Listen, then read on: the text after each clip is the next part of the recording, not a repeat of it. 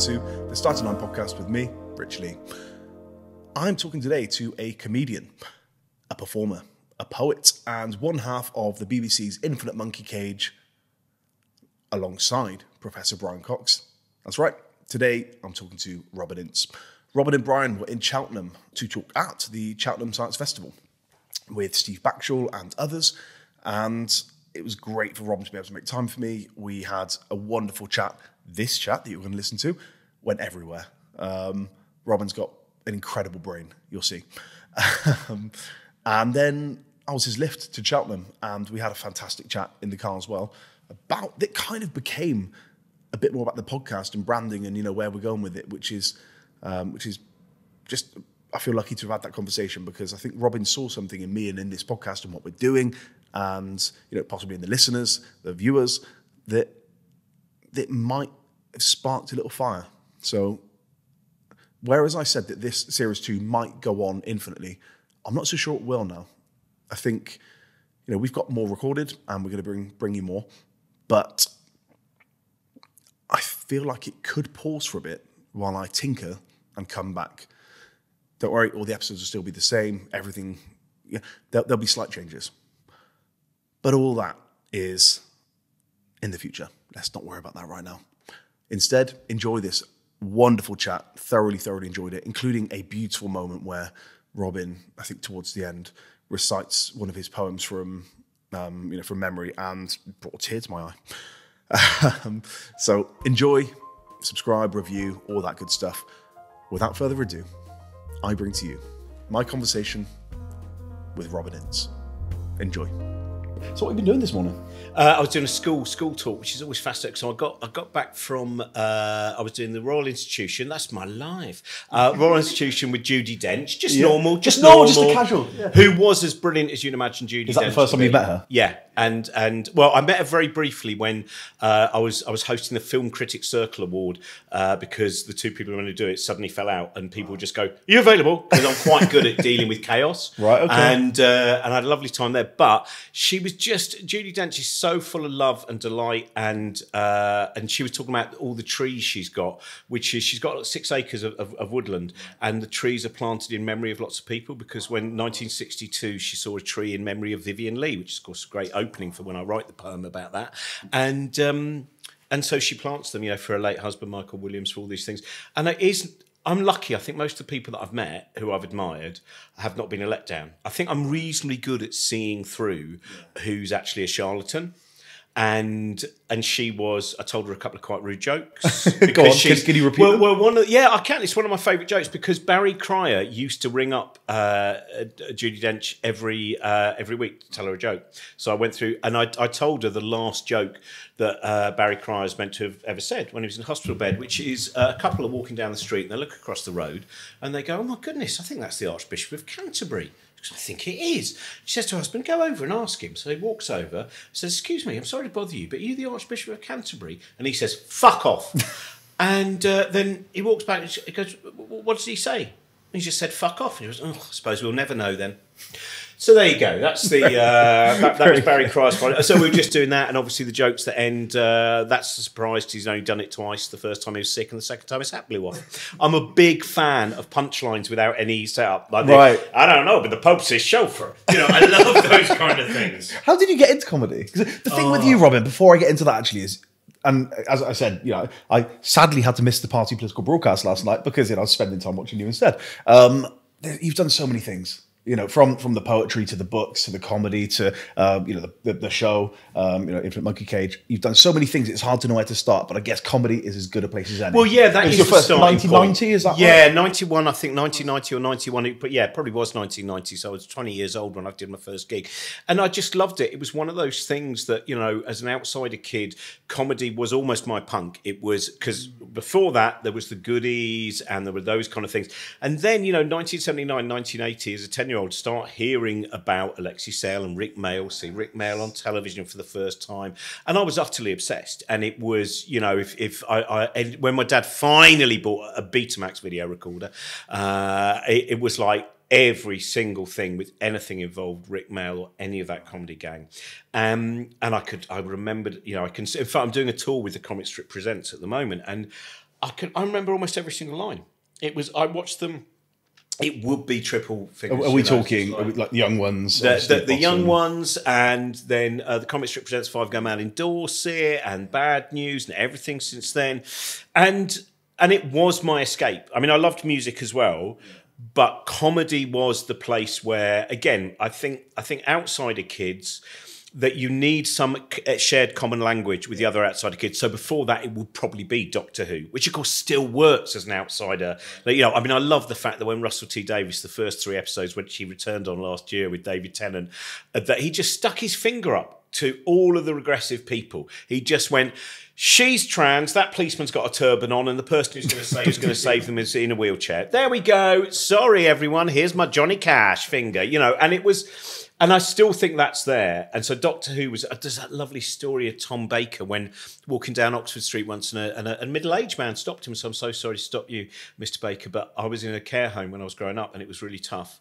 But every Saturday we had you, and that's when you realise It's constant, absolutely. Yeah, it's- creativity in art is that's why I hate it when it just becomes shouldn't really use the word hate, but that bit where you just know it's product, and that bit where there's certain comics where I just think this is inauthentic, and then you watch someone and you go, they mean it, and it means something to them. So yeah, that was, and then when So I was was Alexei 15, Sayle, Rik Mayall. Anybody else jump out? And then you know, and then obviously also people like Victoria Wood and French and Saunders and uh, the whole the whole kit and caboodle. Yeah. So did you immediately immediately think comedy is where I need to be? Well, I don't know. I mean, I thought I would probably be too shy and too nervous about it. Is that what kind of kid you were? Were you quite a reclusive kid? Like Um, I you- was kind of a mix. I was quite. I, I wasn't, you know, I was certainly, you know, I was very much the, you know, as I always say to, to, to quite often, not always, but sometimes to the audience, I say, you know, that one of the cool things about my audience is very few of them were ever picked first for games, you know, and it's kind of, and I, yeah, I didn't enjoy you know most of the period of growing up i did feel quite kind of uh i had all the you know these things buzzing in my head and so many ideas but and but i was quite and but i could sometimes be i was never the class clown in that way but i was still quite funny in my own way and people who got it would like but again the niche kids were like you know. In fact i meet people now who knew me when i was 10 and go god you've not changed Oh, I mean, that's, Yeah. that's that's kind of a badge of honor, isn't it? Really, like you know, to, to still have something of yourself that people can recognise. Well, I think it's an interesting thing because I went to quite a posh school, and uh, which I hated. Just up Where'd you go? here, Cheltenham, Cheltenham College. Oh, of Yeah. course you did. And and I, uh, it was you know it was nightmarish because you know you you can't. There's no escape, and uh, and it was a board? great lesson. Yeah, it was a brilliant lesson because I remember the first kind of assembly. And the head teacher goes, You've got to remember you're in the top 10% of the country. And even at 13, I was like, No, this is a financial institution. This is not a. And so that cynicism or skepticism towards it. And then I was chatting with a friend of mine who I've just been working on a book about kind of neurodivergence lots of other things. And I was thinking about how important trauma is in, in who we become sometimes. And I was asking some of my, well, I've got one very, very close friend who I still have from school who was similarly on the outside. And I had never known things like, he said, I went to that school as a happy go lucky 13 year old and I came out just having been destroyed. It's not character building; it's character destroying. A lot of our institutions are not about school can be. Yeah, they're about molding you into. And he told me about when he was dragged down a corridor at the age of thirteen, naked, and they poured hot wax on his genitals, you know, and things like that. And then I took When you say they, that's uh, just another bunch of kids, yeah. And it was, um, and I was talking to my friend Charlie, who's been a secondary school teacher, uh, and and he's a great, he's a he's a real, he's basically he is Dead Poets Society, and uh, you know I've, I've I've done events with him, and I just see the way the kids react to him, and he said. That bit of remaining who you are, he said, both of us, when we went to school and we didn't like it and we didn't fit in, but we stayed, we stayed our ground. It didn't matter how many times we got beaten up or whatever. We still, and he said, if you have a little bit of trauma in your, it's like you've already had a thing that set you up. Even though you think it will be easier to fit in, you can't. It's too late. And if you're lucky, and a lot of people aren't lucky, I'm lucky because I come from a lot of privilege. And I think of the number of people who, for instance, are in prison, etc., who are neurodivergent because they didn't have that extra thing. Something Laurence Fox should wake up to, and various others. Just acknowledge your just privilege. a bit of kindness. You know, that's all it takes is just to understand it. Because I mean, for me, I'm, I was the opposite. I was a sporty kid. You know, I was, and, and the second that you kind of you know find yourself in that position, school's a doddle. School Yeah. was easy for me, and because if you're good at sport, teachers let you know tend to let you get away with a little bit of you know ah that's all right he's you know uh, you know well we want him playing so yeah. you know it happens and then right rightly or wrongly kids gravitate towards the the, the ones that are I guess a bit I was always a bit bigger I was always Yeah. you know so they gravitate but the thing that you're just saying there I'd had all that but at home and I didn't tell anybody anything I didn't talk about you know my home life at all in fact until you saying ah you're exactly the same kid as you were my friends now, now I'm a tiny bit more open about things. They're like, we had no idea. It's like, no, you wouldn't, because I, I wouldn't have let you because I would have felt like it was a weakness, which is a weird. Oh, you see that though Oh, there was- true as well. Yeah, gosh. What no one knew, including my wife, uh, never knew about the fact that I had perpetual anxiety. Right. So from the moment I woke up to the moment if I did go to sleep, and something. So that's so so. But that's an int- oh god, sorry, I've had a donut. Uh, Me too. I'm on, on a real sugar high now. But it is I because on the other side of things, what I did conceal was uh, anxiety and a constant critical voice, a constant heckling voice, which I only got over two in two and a half years ago, and. Uh, and that is the interesting because I found with a lot of my closest friends, we look at each other now. Many of us have, have changed hugely in our understanding of ourselves, but not changed on, on the outside. Mm. My, my friend Joe, who's wonderful, who's I should have, you know, the bits where you think I should have known that, that that is a big clue of neurodivergence. One, the number of audience members who would come up to me after a gig and say, "We've made a note of the twenty-seven stories you began and did not finish." Like the school talk I was doing this morning, I said I'm going to start off by talking about gorillas. It was forty minutes in before I got to telling the gorilla story, but. Joe, Joe, I went up to, I'd seen her tap dancing at the Edinburgh Fringe Festival. I thought, oh, that's great tap dancing. Never met before. I said, oh, hello, I really enjoyed your tap dancing. I'm currently reading out from a bunch of giant killer crab novels in the show that I'm doing, and I really thought your tap dancing could enhance some of the giant killer crab attacks. And do you fancy doing the show? And she said, yes. So both of us there should have known. One, anyone who opens with a stranger by saying, I'm doing a load of shows about giant killer crab and novels from the 1970s, Sure. and I'd like you to tap dance to it. And anyone who then says yes immediately, you're, you know, there we are. You're in, That's you're in. yeah. There are more than one giant killer crab book from the 70s. Yeah, yeah. Crabs on the Rampage, obviously Crabs Moon, Night of the Crabs, Origin of the Crabs. I could go on, but I won't for your own sanity. Much appreciated. That would be. I'm always curious. I think that's what um, one thing I wanted to start with as well is in some of the things I was watching. One of the YouTube comments, I always say don't read them, right? Because they're it's it's weird. YouTube comments get weird. But one of them said Robin Ince is wonderful because he always believes, or because he believes he's always the dumbest person in the room. Do you agree with that?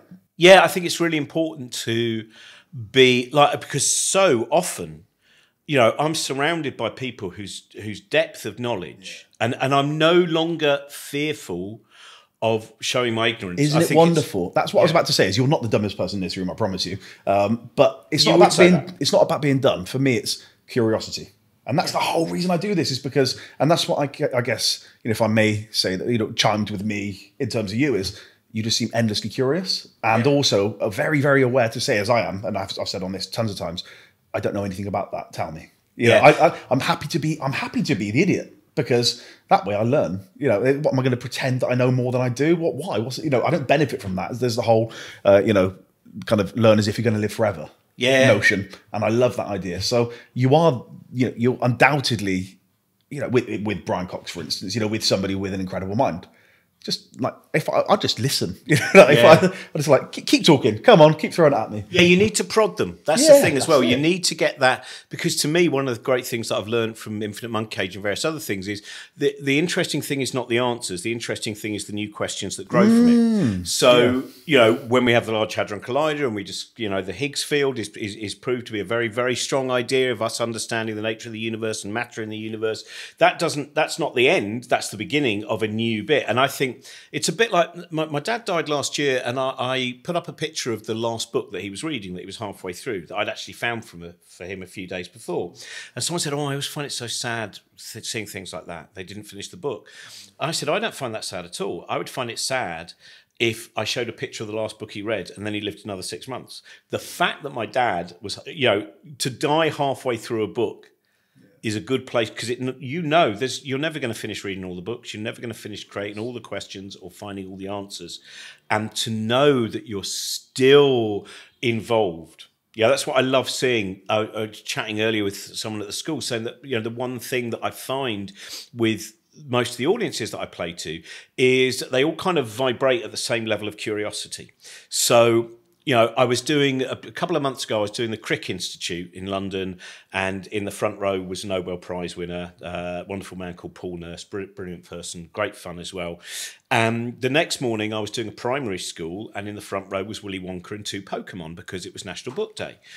And I don't think there was any great difference between the way I talked to either audience because I might have changed some of the words, I might have changed the odd thing, but once people say it's a bit like why I love playing places like Belfast and Liverpool and Glasgow is they'll see th- through you very fast. Those big former industrial cities, you know, those kind of, and that's the bit is if you're not putting on a front, Yeah. If that, there's then authenticity you- there. Yeah, and so a five year old and a six year old, I always think that's why I get on well with dogs and children. You know, it's, it's like because I don't, I hope I don't patronise them. I just think, you know, we'll, we'll find a stumbling block, and you might say, I don't understand what you're talking about, old man, or whatever. But as long as you just use, I always think, you know, patronise that. Oh, you're a little child, and I never have that. You know, my son's 16 now, and you know, we went to a Johnny Marr gig the other day and had such a great time, and and it was.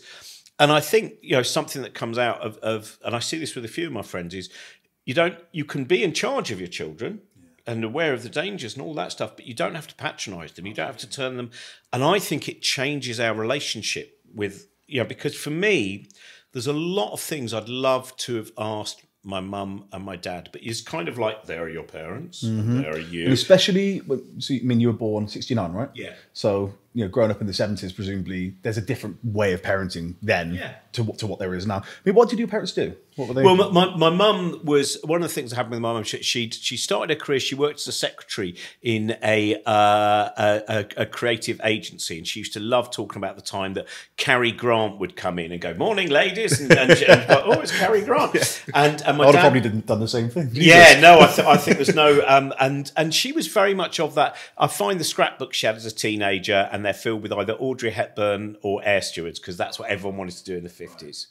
And my dad ended up. He, he started off. He did for a, he did national service. Then did a couple of years uh, working in the theatre, and then ended up working in a publishing company that just published uh, the ABC Rail Guide. So if anyone's ever seen uh, or read the ABC Murders by Agatha Christie, it's kind of based on those things. No, I mean I have a fantastic book. Yeah, it's great, and it's I, mean, um, I, I think Agatha, Agatha Christie. I mean, she's she sold more books. It's second only to the Bible, right? I think in, in in terms of it. And I started reading her when I was a teenager, and I think some of my friends were like, "Oh, it's really you know, that's not cool."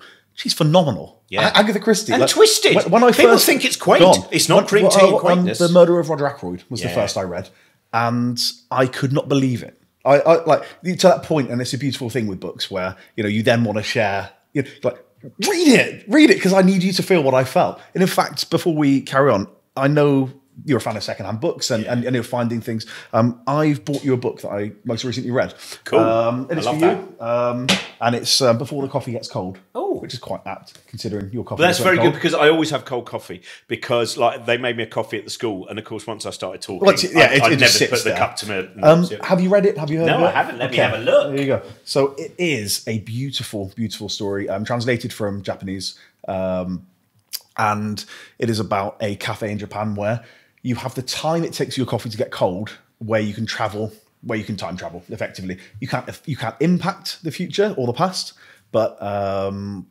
you know it's a it's a wonderful kind of like look at that. humanity. Like, you know, look at what would you do if you had your time with somebody again.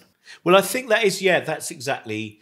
Um, I mean, the big you you uh, I suppose instant of my childhood was that I was, uh, and this is I'll, I'll, I'll say it's one of those things. When my dad died last year, and I was doing the eulogy and stuff, and it was. It's the bit where you suddenly focus on. So, like one of the things I would say that was unusual about the parenting that uh, is uh, my dad, for instance, when he was offered promotion, didn't take promotion because he knew it would cut down the amount of time he had with us, and he knew he was away quite a lot anyway. My mum was in a serious car accident that I was in too, and uh, she was in particular she she the, the brain injuries and stuff like that. And when she first came out she was basically mad when she came out of the hospital. She'd been in a coma. And my dad was eventually told the doctor said "I- I- if i was you nigel i would just put her in a home and get on with your life. And no that's not you know and he never thought that and it was very interesting because I was watching the great. I don't know if you know the musician Robert Wyatt. who was a soft machine, and he and then he he he fell out the window and broke his spine, and and uh, and beautiful beautiful artist, and um, he uh, he was being interviewed years ago, long before the Jimmy Savile thing came out. And he was being interviewed about being in Stoke Mandeville Hospital. And Mark Ellen, the interviewer, said, Oh, you know, what was it like when Jimmy Savile came around? He went, Oh, well, I would always just pretend to be asleep. He said, But the women loved it. He said, Because when a man has a spinal injury, more often than not, the woman will stay with him. When a woman has a spinal injury, the husband leaves normally after a month or two. So even that, which is very spooky, very, but and I remember him saying that, and I thought my dad would never have and and those things i mean that's one of the things in terms of you know talking about the starting line of i i look back now and i think of my sisters as well i'm very close to my sisters and you know so many of the things that we believe in in fairness and justice come from my dad. My my dad would do things like the company he worked for. He found out that the, they brought in a bonus system that didn't include the cleaners, mm. and he went in and he said, "Why aren't the cleaners included in in the?" And they went, "Well, they're just cleaners, aren't they?" He said, yeah, but imagine coming into your office and it's all messy and you've got to empty your bin and there's, there's stuff all over the place and you're looking at how dusty the car. Where did that come from? Like, was what was he so, really believed in when he was? It's like an Atticus Finch kind of well, it was like fairness to it. There's a lovely story. Which I, he never told me, but he told um, my niece, one of his grandchildren, and and uh, he uh, he said when he was a little boy, he was walking through the woods with his dad, and they came across a poacher. And his dad said, "Evening, sir." And the poacher went, Evening, sir. And uh, afterwards, my dad's little boy said, Why did you call that man sir? Because he's a poacher. And he said, He's still a man. And that, and I, and, and that sounds, it almost sounds like kind of self help, but, but it was really, you know, when I look back now in the village that I was brought up in. Where was that, by the way? It, it's just out, it's, it's Metroland, John Betjeman's Metroland, just outside Chorleywood. It's a regular haunt of Midsomer Murders filming, right? There's, there's, and he, uh, you know, I, I remember that he spoke and was friends. It didn't matter what class you were. It didn't matter your background. He wasn't someone who hung around like kind of people. It was like you know the road sweeper Walter. Uh, the the because uh, in that that point in the village, the, most of the people who lived in the village still worked on the farms, or you know river keepers and Mister Hutch, the river keeper, and that was the thing. There was no. Uh, which is a very odd thing. My, my dad really believed in in treating everyone on an equal level. And I believe in that thing. It's like, you know, when people say you've got to earn respect, I think that's nonsense. I think what you, you, you lose respect. So you should start off every relationship and every conversation with respect for someone. And then you might go, to hell with them. This is not a, a decent person or that I'm not going to so yeah, so that that was very very important to me, and I and I look back now and I think of you know the the and I wish, as you said, you know, I would love to have talked because my mum suffered after after the accident. She suffered from depression for the rest of her life, and I would love to have talked to her more about that. She's a very good mum, I should add as well. You know, in those, I, know, I guess the book speaks yeah, to but that's that. perfect. You the, the you book know, speaks because to that. It really does. I mean, in fact, there's there's there's an aspect of it that sounds very weirdly parallel to uh, you know to, to, to, that exact thing of not being able to speak to somebody when you wish that you could have done. Yeah. Um, what would you have asked her? I would just like to have known more of her because I know that one of the things was that when she did wake up out the coma and, and with the she didn't recognise all of us and stuff like that when she came back. And, and I know two or three. I, I, was yeah. It was it was two days before my third birthday. Amazingly, I still had a birthday party. We didn't know what was going on. You know, and my dad kept it quiet. She was in a coma, and then when she came out, I, I think the effect on my sisters may well have been greater than on me because they were older, and so when this very frail woman came in with a metal frame around her head and all that, I think they were probably in. They're probably quite scared. You know, what's happened to our mum? And I. Uh, but yeah, so so uh, sorry. The question. Uh, oh no, I, I just yeah. I, I I think and the uh, in the last few years of my dad's life, I think he was. It wasn't that anything was hidden. We weren't like that, but it was just we just moved on with it you know, it, it, it's a bit like someone talk about this on stage. My dad never said he loved me, but it was never important because I knew that he did, and and we got on very well. It was not a hidden thing. We had lots of shared interests, and he was. I remember when my brother-in-law died, and, and my sister was really worried. She went, "I've never, I've never heard dad." so upset before because he would have been he would have felt it was very unfair because the natural order of things is that he would die before his daughter's husband died right and they said maybe go, go, go take dad for a walk and try and have a chat and of course I, I tried that try, almost put my arm around him, and it was just he didn't have quite have that way of being able to to talk. but he did have that way of being able to express himself through action. And so I never feel. I know other people have. You know, you, I think it was Paul Merton talked about. You know, he. I think he always thought that his dad probably thought what a silly job Paul has, and, uh, and then when he died, he Paul found that there was a, a scrapbook which had everything about what he'd done and that's the bit those are the secrets that we need to avoid. You know it's to me it's, it's tragic and I'm, I'm so happy that i don't have that. But it's tragic to me that so many parents don't seem to be able to just say i love you or just show you know, it's it's that bit we were talking about before we started recording. You know that biblical father that is embodied by god is this person who's perpetually annoyed with his children and I think people feel that you know that this, and also I think now people are almost scared of children. And I always used to find that when I went to parties because I, I, you know, when you've got a kid, of course, the first thing that happens is you have to go to parties where you meet parents that you never met before. And I'm not, you know, that kind of. I don't watch Top Gear. I'm not, I, I, and that bit where you then all the men stand. You don't have and all the football women, chat. And yeah, all I don't like that bit. Why, why all the men in one corner, all the women in another? We got lots of common ground. Let's find that. And so I'd often just go and do the washing up or play with the kids. And I could see that some men now are almost like, oh, oh, oh. I think it's changing. I really yeah, do. I think it is, you know. but I think they get worried. I think then there was a point where it had changed, and then people went, "Oh my god, what if people think?" Well, I I remember hearing on a radio phone in once someone going, "Yeah, I mean, why would a man want to be a primary school teacher? You've got to worry about things like that." And you go, "What?" crazy, crazy. Yeah. I mean, the other, it's a funny thing. The other day, my daughter so I've got four children, um, almost 18, You're only 13. about twenty, aren't you? Everyone looks so young when you're I'm, thir- I'm 36. I'm 36.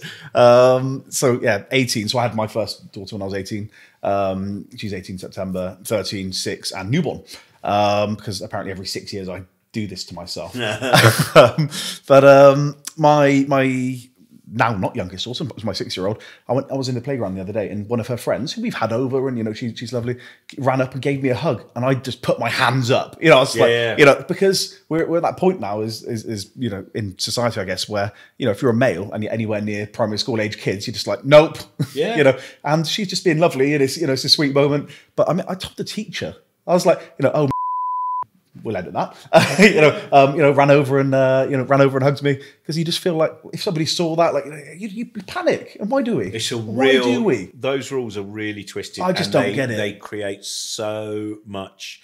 You know, so many of the problems of our society, I think, are and, and things like the disparity between how we behave and who we are, and all of those things. The greater the gap, the the the, the fear of of of love, the, the suspicion. I mean, I remember when when I was at that silly school that when when they then brought girls, you know, joined it in, in the lower sixth.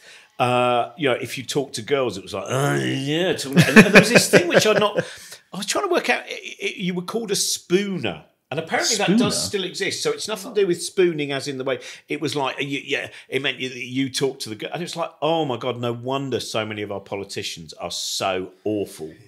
Is, you know, if you go through that system and it changes you, you're broken. How do you feel about private school? I don't. I, I'd never send my son there. I wouldn't? don't. I, I, I believe in. Uh, um, I, I believe state education is. I believe we should be part of it. I believe that there's a huge battle ahead. I think that and and, and going on all the time. I think class size is ridiculous. I think you know you. It, it's not a good system. I mean, you were just in speaking to a school this morning, Yeah. but um, slightly different school. Was, was it a special needs school? No, that- it was that- kind of it, it was a school which is slightly more liberal in terms of the, the baccalaureate that it does and all that kind of stuff. And like a uh, Steiner. No, it wasn't. I can't remember what it was called, but it's it's a um, you know, and, and I'm, always happy to go. You know, I often go to schools for again. It's one of those things that if I take enough jobs that I can I can go, I can do all these things for free. So it's great. So I can go and, and it's and. I, again, I love that bit when, when I go and talk to primary schools and the six year olds are just so open about so many, you know, they can ask anything. And, and then we start closing ourselves down. you know? Absolutely. Well, my my six year old asked me the other day. Um, you know the, the the eternal. You know, yeah, but how did you know what happened before the the Big Bang? Because you know, I can. I'm like, well, you know, it's observable. We can see the universe expansion. You know, we like red, redshift, and, um, and then she's like, yeah, but you know that whole explains to me like I'm five, six. I'm like, I don't know. Like, how do I? How That's do you thing, no one knows. How do you even start that? So that's what I did say. I was like, nobody knows. There might have been nothing, a, a total nothing, because there's no time and there's no space. If there's no time and there's no, which this is this is the problem that we have, which is to actually imagining nothing is impossible.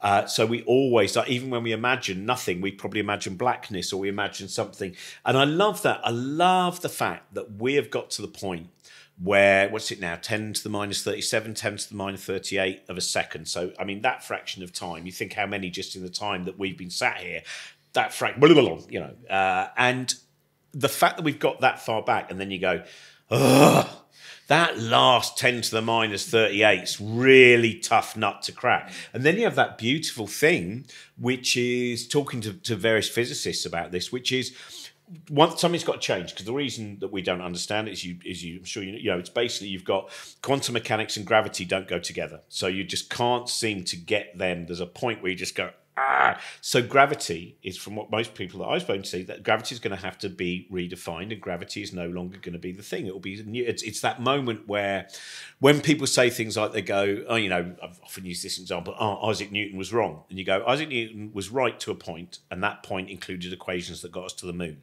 so it's wrong, At but it's time. good wrong. It's a really strong I mean, wrong. You, you said we talked earlier on about you know the questions beget questions. You know, the, and that's what science is. It endlessly Yeah. questions itself. It endlessly asks itself, "Is that right? Is that right?"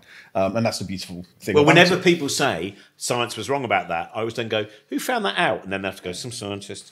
But it's like so you get, and then you get Newton, then you get. Einstein, and then Einstein shows that the, the, there's here Newton, Newton, Newton. Oh, now we need Einstein, and then it turns out that with gravity, it turned there will possibly be a point where you go, ah, and this is where Einstein's grav- the notion of gravity, you know, what we understand now about gravity. This is where it doesn't work anymore. Why doesn't it work? Just um, as a layman, I don't again, know. I genuinely can't. The idea of why quantum mechanics and gravity uh, don't work is something that I don't know. All I know is there is this point in time where you just go. You know, it's that bit where you sometimes get the flip round between space and time and time and space, and and it's. Uh, I mean, it's that whole thing of. I think one of the things that people should know from a very early age is there's not space and time because you can't have space without time and you can't have time without space. So they that's why you get space time. That's you know, and the curvature of space, all of those things.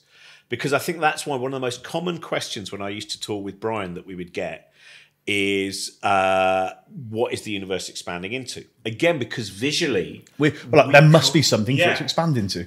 And so that is so when we start talking about, you know, it's, it's what Carl Sagan says: the cosmos is everything there is, everything there was, and everything there ever will be. You know, all of that stuff.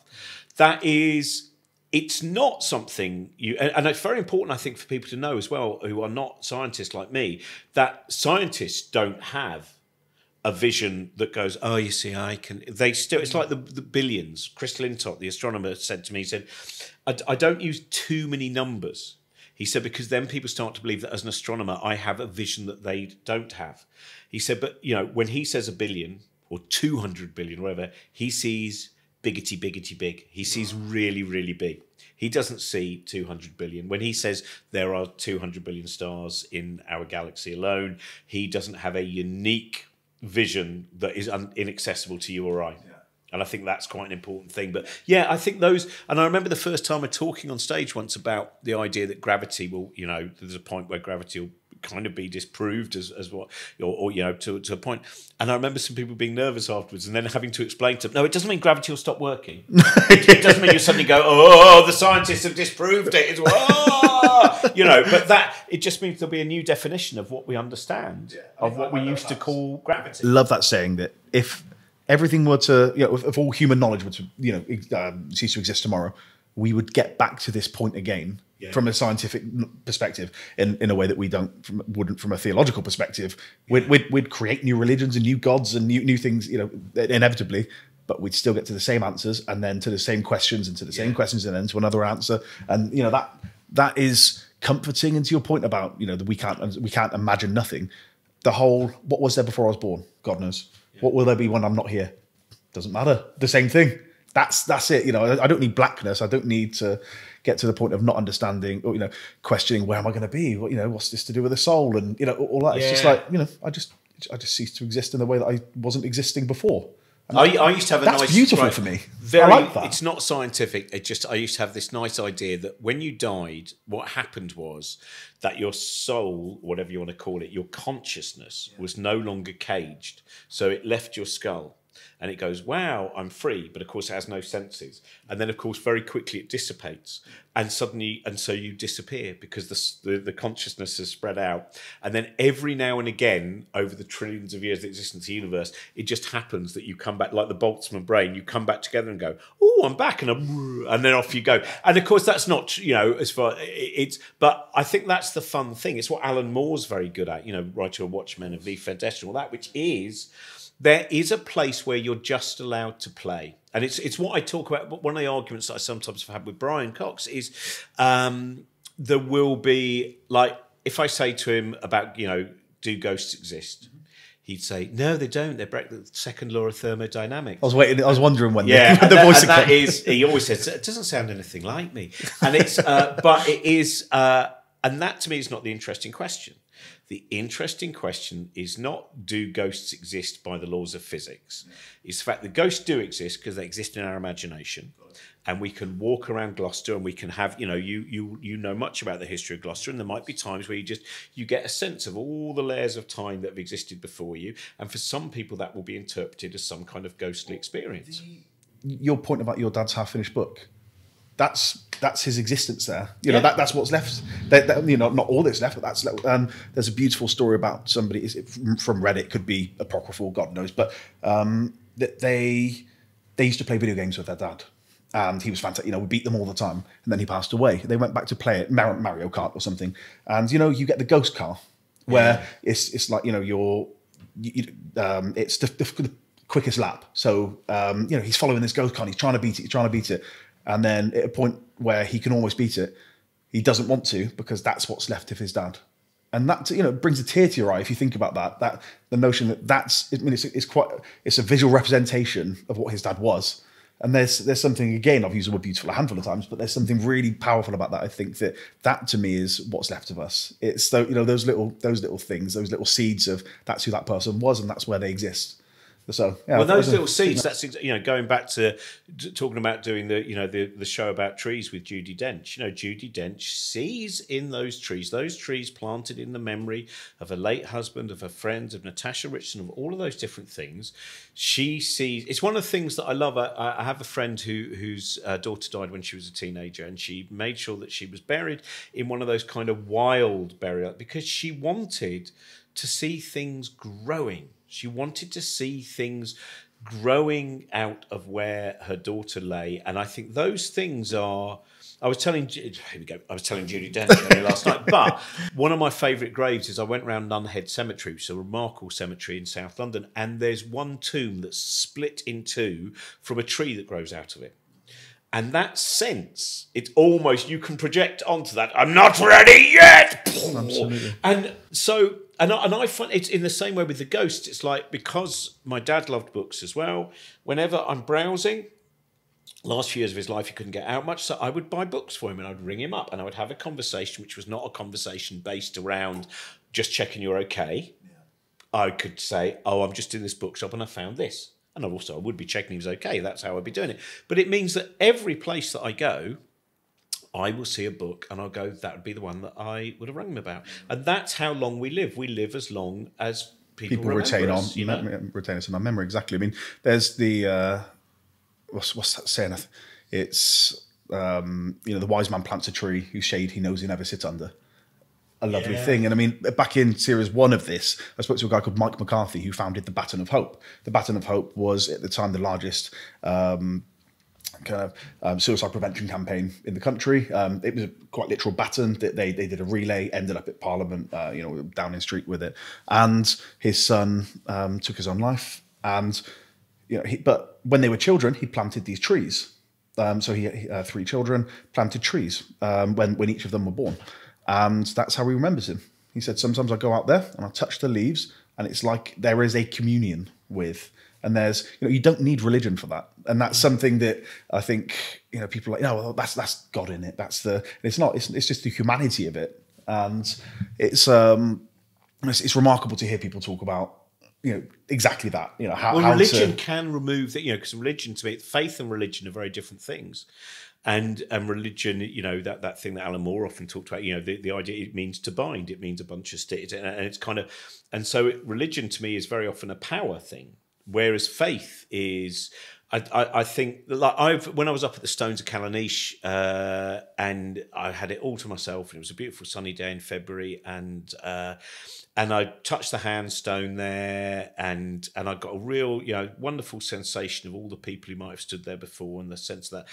And I think the emotional reaction I sometimes get I get quite a lot of transcendent experiences because I just I'm fascinated again since I got rid of uh, anxiety. It gives me you know, I can just look at a wall and I'll go oh I just suddenly think about all the people who laid the bricks and thought of the wall. Do you think blah, age blah. gives you that? I, I think it can do, but I think it can also narrow you as well. I think it's that bit of as if you're prepared to keep progressing and you're prepared to keep walking into doubt, then you can find these things and and and also yeah, there's more that lies behind you than lies ahead, and I think that's you know kind of gives you a sense of the block universe of these moments of time. But I remember thinking, ah, I've realised what God is for some people, because God for it, it's not hello, I'm on a throne it's an emotional experience which their mind translates as some sense of a presence, which they say is a God. And for me, it doesn't happen that translation. I get a beautiful transcendent feeling, and but it doesn't get translated as, as, as God.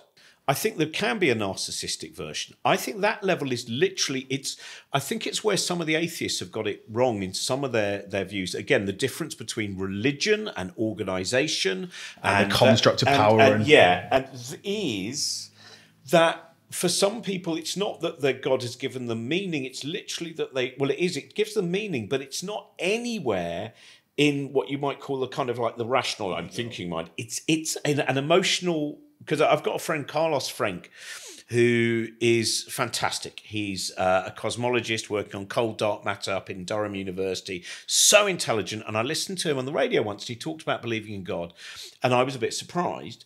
And when I said, "What do you, do you believe in God?" He said, "Yeah, no, I really believe in God." And uh, and then he said this great line, which I've used many times, where, where he said, uh, "I believe in God, but I don't allow him into the laboratory," which I think is so great. Um, he, but when we were talking about it, because during lockdown we talked a lot, and he and and he went, you know, why does God have to be complex? And I went, right. So the God you believe in is nothing like the the God. You know, his God basically is kind of the very, very, very first moment and the cause of the universe, but then everything else is the laws of physics. And I said, you see, your God that then went on holiday is not the God that people are kneeling to necessarily, and it's certainly not the God that people might be killing for any of those things.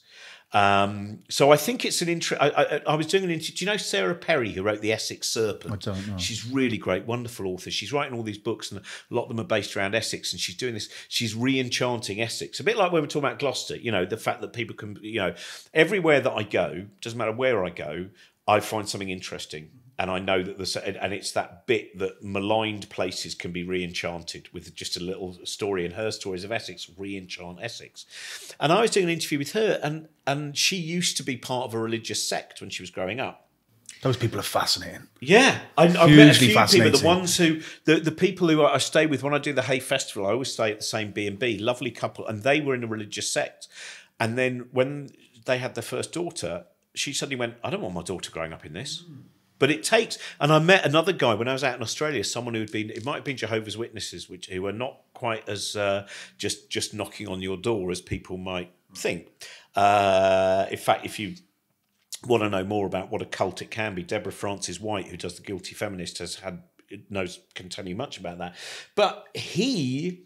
His way out was somehow he got a copy of an A.C. Grayling book of philosophy, which he kept hidden under his bed, but which was the beginning of as long as you have control What you're reading? of the Porn? information. Yeah, yeah, that's exactly it. It was the philosophical porn. That was it. That's what he needed. What he needed to arouse him was an idea that said, I think you can build a door and you can leave. Mm-hmm. As long as you have someone controlling your belief of what the world is, and that whether that's organized religion, whether that's Stalinism, whether that's fascism, whatever it is, then that means you're limited your roots. And to me, the most important thing is you should be able to take as many paths as possible. And if you Or say, at least look, or at least know they exist. yeah, exactly. So you choose the path. exist. But if you go, um, you're only allowed down this way. Otherwise, you go past the other flowers. But it was, yeah, sorry, I was just going to say, Sarah Perry, the first question I asked her was, um, when you did believe, who, what was your God? And she went, oh, I, no one's really asked me that. And I've, that's a very important question, I think, for, for atheists, agnostics, whatever, when you're talking to someone who, who is saying that they have faith and uh, is, um, what is your God? Because it's, again, a bit like the ghost thing. There's no answer. If, if, if you just told me, oh, I believe in God, and I go, oh, okay, I've learned nothing. Absolutely. I, I want to know because for a lot of people, the the idea of God is not a, a malignant oppressive. It's only when you start to believe literal worlds, and more often than not, I don't think it's religion. I know I know Brian Cox talk, talked about this when you the other Brian Cox when you had him on. I, I think the original Brian Cox, obviously, unlike the professor. I call him the elder. Yeah, Brian Cox the elder. But he, you know, I, I, I think the problem is that some people like Richard Dawkins imagined that if you got rid of religion, everyone would all be really cool and it would be great. I think the battle is against dogma, and dogma is very attractive to people because it says you can stop thinking. It says these are the rules. It gave us a framework. It gave us an understanding of the crazy world around us at a time before we could actually understand it. At a time before science came and asked another question, and you know the God of the gaps, right? That's Yeah. the, the notion of that. Um, it always blows my mind. The whole, you know, thousands of gods. You know, you just I just believe in one fewer than you do. Um, you've heard all this before because it's like Gervaisisms, right? You know, Hitchens um, and, and and Dawkins. You know, the, the notion of the four horsemen. Um, I, I love Hitchens, but a tiny bit cringe. You know, the, Yeah, that- there is a point as well where he loved. I think he enjoyed arguing more than bringing And he's the bloody good joy at and it. kindness. Yeah, he really was. And I remember seeing him at the Hay Festival, and he was so antagonistic when he didn't need to be. And I think that's the difference. Is, That's where maybe we're post that now. I read a piece yesterday. A friend of mine sent it to me about kind of being, you know, in, in that post aggressively atheist. Like we, we need to get past that because you know if, if we all just admit that we're probably agnostic, uh, you know, as in you know people are truly I'm an atheist. It's like well, how can you be? Um, you know, uh, if somebody tells me they can levitate, I'll believe them when I see it. You know, and that's that's the, the, you know the, the fact of the matter is I believe it if I see it, uh, and if I'm and, you know if it's demonstrated to me, you know everything that we've talked about in terms of physics can be explained to me in a rational way, can be shown to me, can be here's how we got there, and that's that's all we ask, right? Yeah, I didn't become an atheist or an agnostic or whatever out of any intellectual. That it just was, you know, that it was just there, and it means so little to me because it, it is. It just again, like it goes back to that thing. It, it just gives me more options. I, you know, I never think, you know, wake up in the morning, and you know, what, what would not God do? you know, it's not what it, it is. It's and and then I think that bit of work because I used to get asked sometimes to go the, the what's it called Greenbelt Festival that used to be in Cheltenham, and you know it's it's a, it's a Christian festival, and I remember you know being asked to do it, and I did it on a few occasions. Met some lovely, really wonderful people, you know, real liberal and and political activists, and people who were totally open to you know all that. So you know, unfortunately, religion on in the media is predominantly represented by the very worst people because that's clickbait you know, and, and so you'd have all those Sunday morning shows with really horrible people. It's a bit like you know, with at the moment with with with Gaza and and what's going and and and we focus on on at extremes.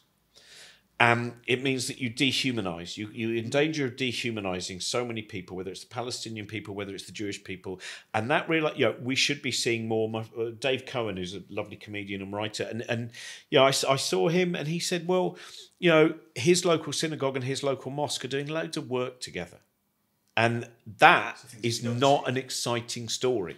And we know that in Israel, there's a lot of Israelis and Jewish Israelis who are appalled by the war. But we, they're not given much representation. And we know that in Palestine, there are people who are not, you know, supporters. You know, all of that stuff is, and, and that, that, you know, I think so much of our world has a fear of complexity. And it's not that it's difficult. People will often go, well, it's too difficult to understand. No, no, it's not too difficult. It just takes a little bit longer. I'm going to remove this certainty. And that means I have to think about why am I? You know, that one of the questions, question time. You never get on question time. Someone will say something outrageous, and what I want to always hear is, "Why do you say that?" No, explain. Because I, I see that all the time. You know, you you've seen it a lot with those things that go up on TikTok of Trump supporters being interviewed. You know, Joe, Joe Biden's just evil. And he, he, you know, he's done so many terrible things. What terrible things he done? Uh, you know, what terrible things hasn't he done? No, but what terrible things he done? And that's the thing is, it's like the moment we're we're recording this. Obviously, I don't know where it's going to go. But you know, the, the election uh, is happening in the UK, and when I hear people, when I hear Lee Anderson talk about we want our country back, right? The first thing you say is Who do you want your country back from and why? You don't just let them say that. And when someone says British values, you say, what are British values? And when they say, well, fairness, you go, well, it's not fairness, is it? Because you believe this, this, and this. And it's not fairness if you look at what we did there in colonialism. And it's not fair when you look at the way the workers were treated. It's not fair when you look at the Peterloo massacre. It's not. So, so stop letting people use emotional sound bites and, and without any sense of definition. And, and and I think that's one of the great advantages that comes, from you know, again, comes from agnosticism is useful for this. ADHD and neurodivergency is useful for this. You don't take anything as read. Everything is a question why, mm. and because we lose that, don't we? Get that kind of beaten out of us a little bit, not yeah. physically necessarily, but you know that that you know, but why? Again, talking about my children, you know, every one of them, it's you know, some stage it's just like, but why? And then you're like, because it is. You know, because because I don't have well, any more answers exactly for you, right? How um, like the school this morning, I was talking about. You know, for, for anyone you know neurodivergent listening or watching to this, the, the the you know the things at school. Stop fidgeting. Look me in the eyes when I'm talking to you. Well, actually, for a lot of people, looking people in the eyes is extremely difficult, if not almost impossible. And fidgeting is actually part of stimming, and it's part of it. And it doesn't mean like like for me, for instance, I normally am doing more things than one because if I just do one thing, like I was chatting to someone who they're, they're autistic son um, has gone to university and has to read a book while being in the lecture because if he only does one thing, the brain eventually goes, which is what I find. But if I'm actually, so sometimes I might be doing something on my phone people think you're not listening, and I go, I'm taking everything in. I really am. It's just that I need to be. So all of those separate rules where you go, why, why do we have this rule? And if it is just because, well, it just makes everything easier. It's conformism. It and needs to make things better. Conformity in systems exists because there are many of us, right? And we need to get like systems, like like school. I've talked about this before. School is not a perfect system, but it's the best we've got. Mm. And you know that's the, the the fact is, if if somebody can come up with a better system, then you know we'd run towards it. But you know, I, I guess that's what there is a better system. Though. What is it? It's just financially not done. Which is the better system? Is first of all, all class sizes are ten people. 10 to 12 people, right? You get that. That's why, why private education has a huge advantage, is because the, all of those kids nobody falls get more attention. Nobody's stived. Yeah, and there's all of that stuff, and that's why you know, and that's again why I totally believe in positive discrimination. Whenever I hear people, well, I mean, the thing that worries me is a lot of the rich white children aren't able to get into Oxford anymore. And you go, do you know what? There's still a good number. There's still a good, number. and and I meet so many people who have slipped through the system who have amazing mind. Like I was, I was doing a, a, a, talk on a boat on the River Orwell. There was a 72 year old guy there who basically he uh, had to leave school when he was 14. He hadn't really properly been to school, to be honest. You know, reading and writing and all those things were were luck. You know, it really was. It was like a. I'm not going to sound like a Monty Python sketch, but it kind of was that he got through without knowing those things. And now, at 72 years old, he he done he's done a writing course and he's written a short story and it's got into a competition and it's gone really well in there. And, and in the same way, you know, when I've visited prisons, um, some of the people that I meet, when they went into prison, could not read or write. And I remember being in Leicester prison, and one of the guys really wanted to read me his poem. There was a lockdown, and he said, "Oh, oh please, can I read Robin my poem?" Before, and he read this poem, and it was a good poem it wasn't W. H. Auden, but it wasn't bad. It wasn't like it was a good. And I thought he's now got a, a, weapon he never had before, which is you know for for so many of us, it's one of the reasons that I say to people, if you can write, write, write, because for me the experience of writing is some of the things that I've written about, like the car crash and stuff, which I'd never talked about, and all that. Suddenly, when you place something on a page, it allows you to interrogate it and deal with it in a way that you've never been able to do before. And so, and what this guy has found is neat. He is now all those thoughts. It's a bit like again a diagnosis for neurodivergence. what I think often happens is before there was chaos, and it just keeps reaching out to the universe.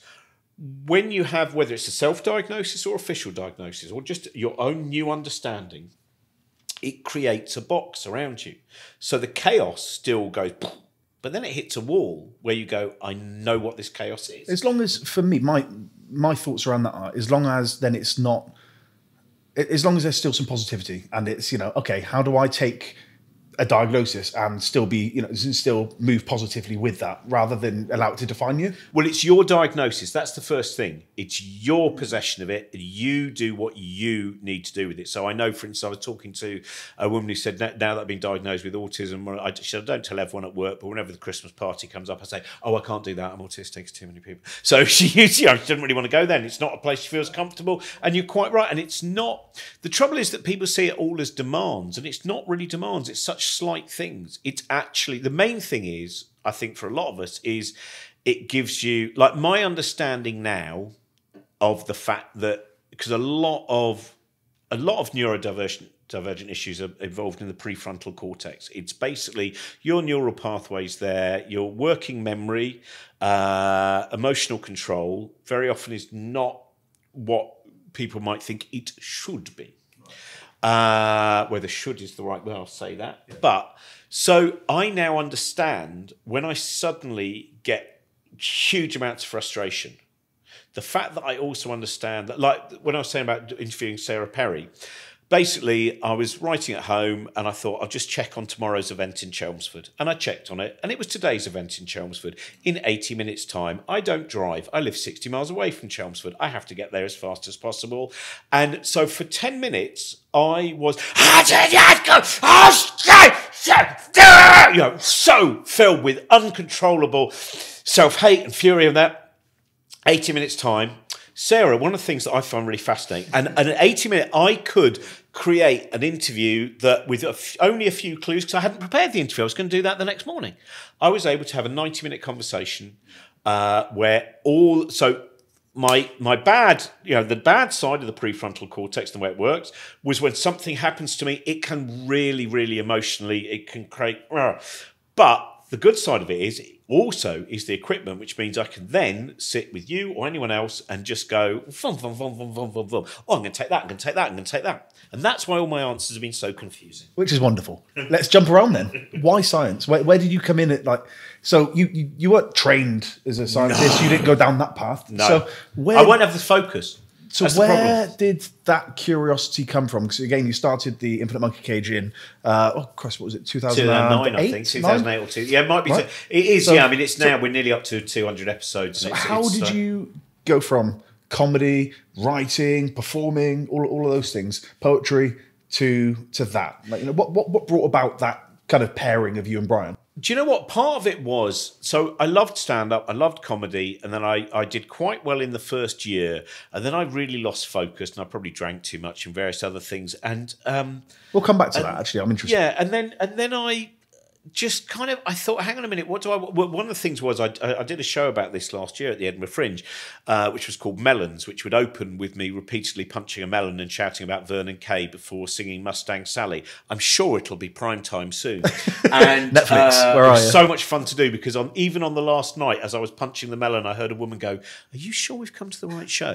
and then and I had such a blast doing it, and it was a it was a passionate show all about why I loved comedy and how I fell back in love with it. And when I did that show, it was a, a, a failure for 90% of people, but the 10% who liked it, Loved it. I really got what it was. And it made me realize what I was doing wrong. I had tried to shape myself into what I thought I was meant to be as a comedian. I guess is was this post touring with Ricky? No, it was the same time. So that because, was also because you're seeing you're seeing somebody that is very like you know it's it's a, it's, it's a broader potential base of people, right? You're seeing, you know, okay, well, this is immensely popular. And do you think that you almost went down or tried to go down the more populist kind of co- comedy think, route? Or I just think I did boring things. I think I did jokes that were just jokes or whatever. It didn't mean anything. I think I'd lost. I don't think I'd really worked out and then I did this silly show and and then I, I started I created a show called the Book Club where I would just have really you know wonderful bizarre and eccentric acts on and it again a very celebratory thing.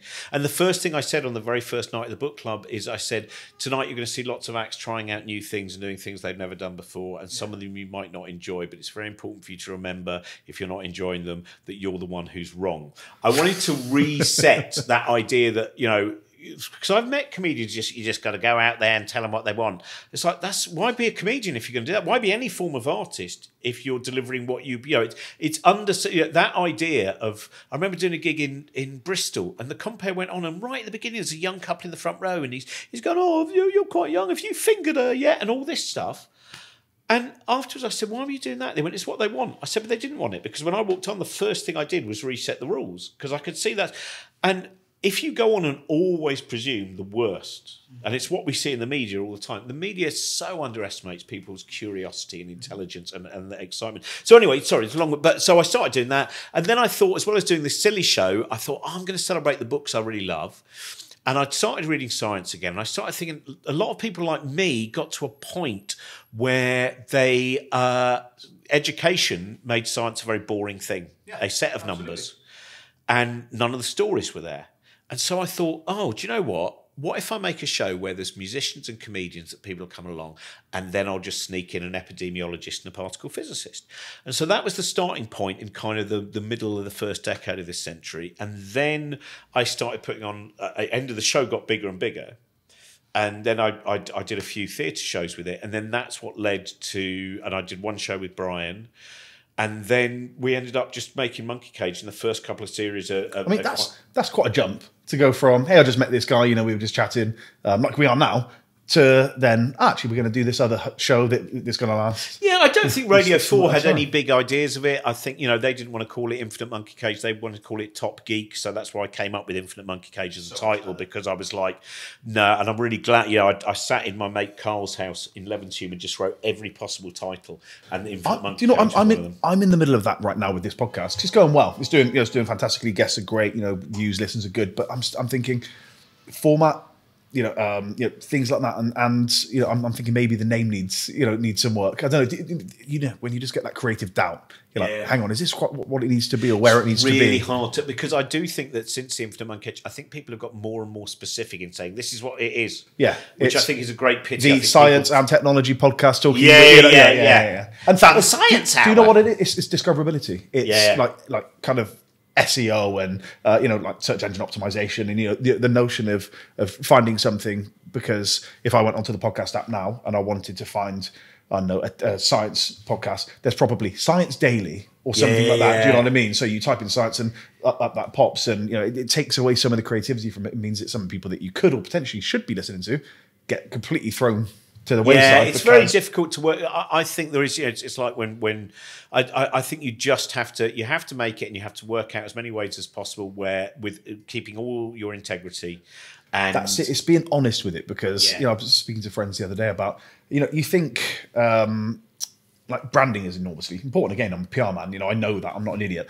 Um, you know you, you think of all the people that like the, the, you know the Naked Chef.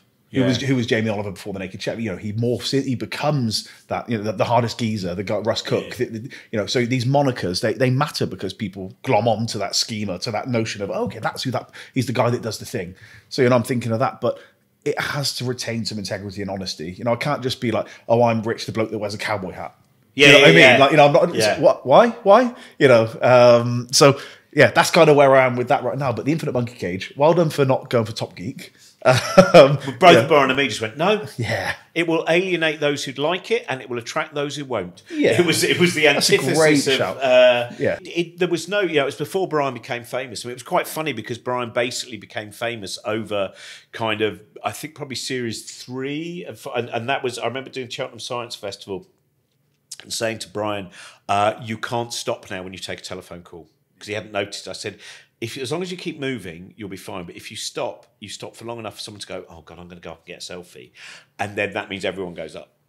So it kind of, but that that was an interesting thing to see. I, I'm, I love the fact that we have, you know, scientists and, and people that, that are quote unquote famous. Yeah. You know, it's, it's a fantastic thing, I think, in society where it's not just, you know, I think we've, we've moved away in the last decade or two from people like fame for fame's sake. You know, it was there, wasn't it? It was really there. I mean, like, I think um, some of the, um, you know, some of my team were talking about Love Island the other day, and you know the it's I think I, I, don't know about viewers or anything like that, and it's not a it's not a, a, snobby thing to say. I've not watched a minute of it. Yeah, you know, it's, it's just it's not for me.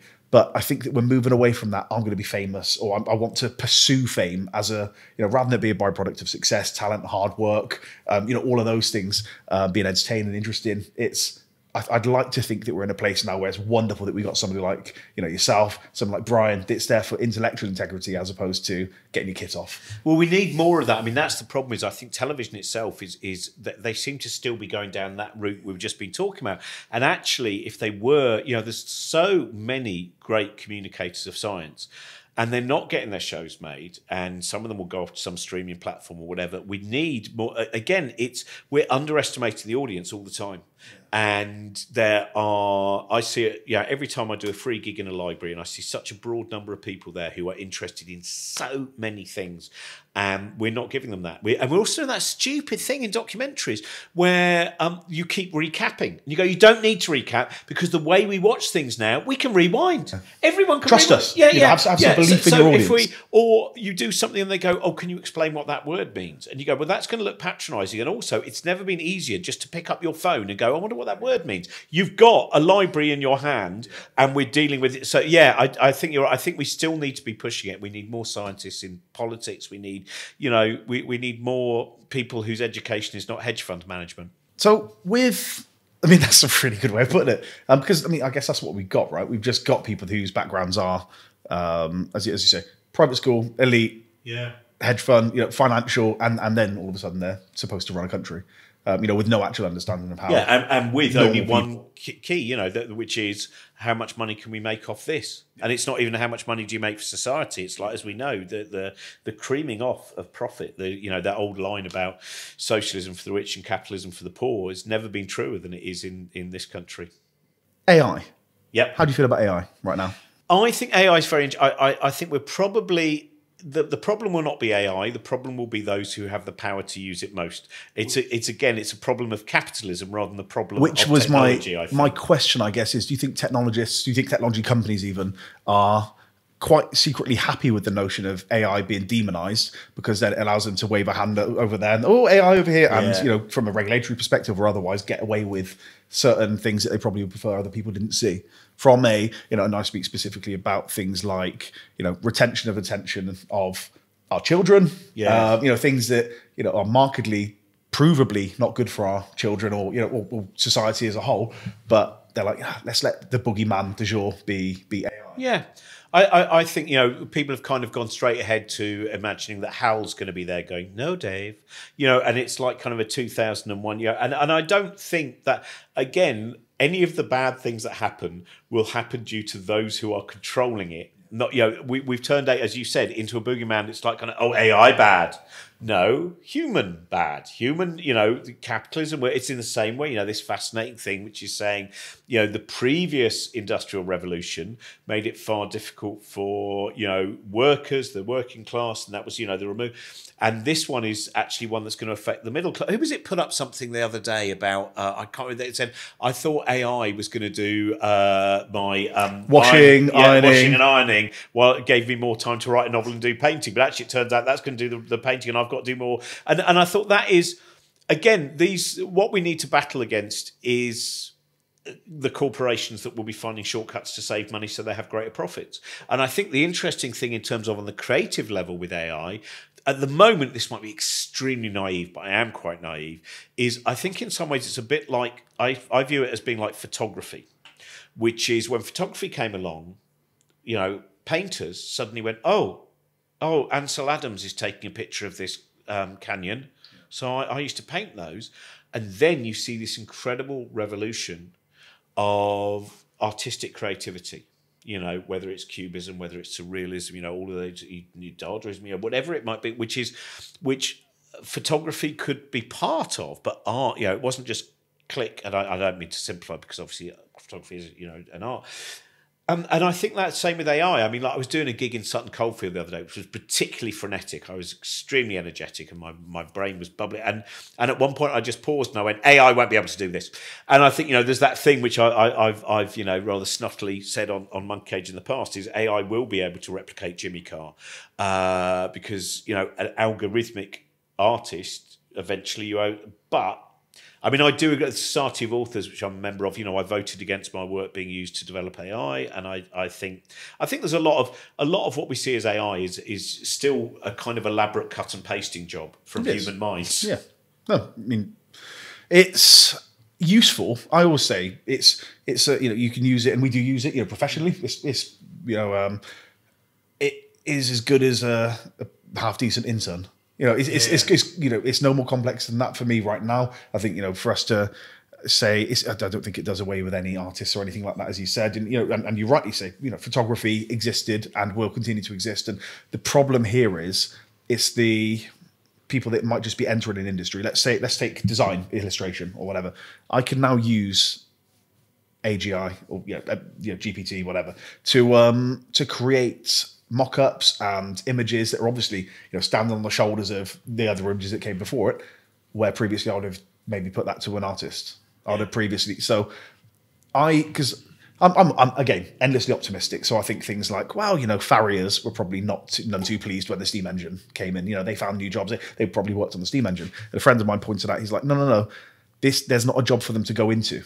You know, there's because, because they have to completely retrain. You know, if, if that's what you did and you know you mocked up, um, you know, images for marketing or branding or whatever, and that was a job, well, you know, basically that's a whole swathe of people that have been taken out of the job market that now need to find something else, and that's only gonna kind of continue to happen as you know. I, I can't remember which business it was now, but I saw I saw that they you know, saved six million this year already, or something like that on marketing because they're using this. It's like you haven't saved six million; you've just not paid somebody six million. You know, Yeah, you've not yeah. paid people six million. Well, that again, that's th- what the real problem is the value system, which says is profit for the few. Mm. That that's not to you know. I I- I think that whole problem of not viewing a society, like you know, I was saying about you know wandering around here. And and I see the people who probably previously would have been looked after and are now you know what used to be called care in the community. You see all of these things which ha- are, are framed around oh this is a very good idea and it's going to improve that and it's not about improving it's about maximizing profit for a very small number of people. And we're far too obsessed with that. And we don't the trickle down effect is absolute bold dash so we, we know that's there's, there's no evidence for that. Uh, if you get rich enough you work out every single different scheme to not pay tra- you know tax properly.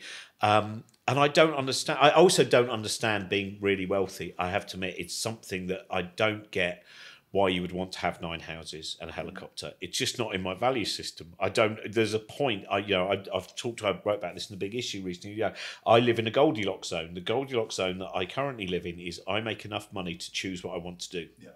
So I don't have a big house. I don't drive a car.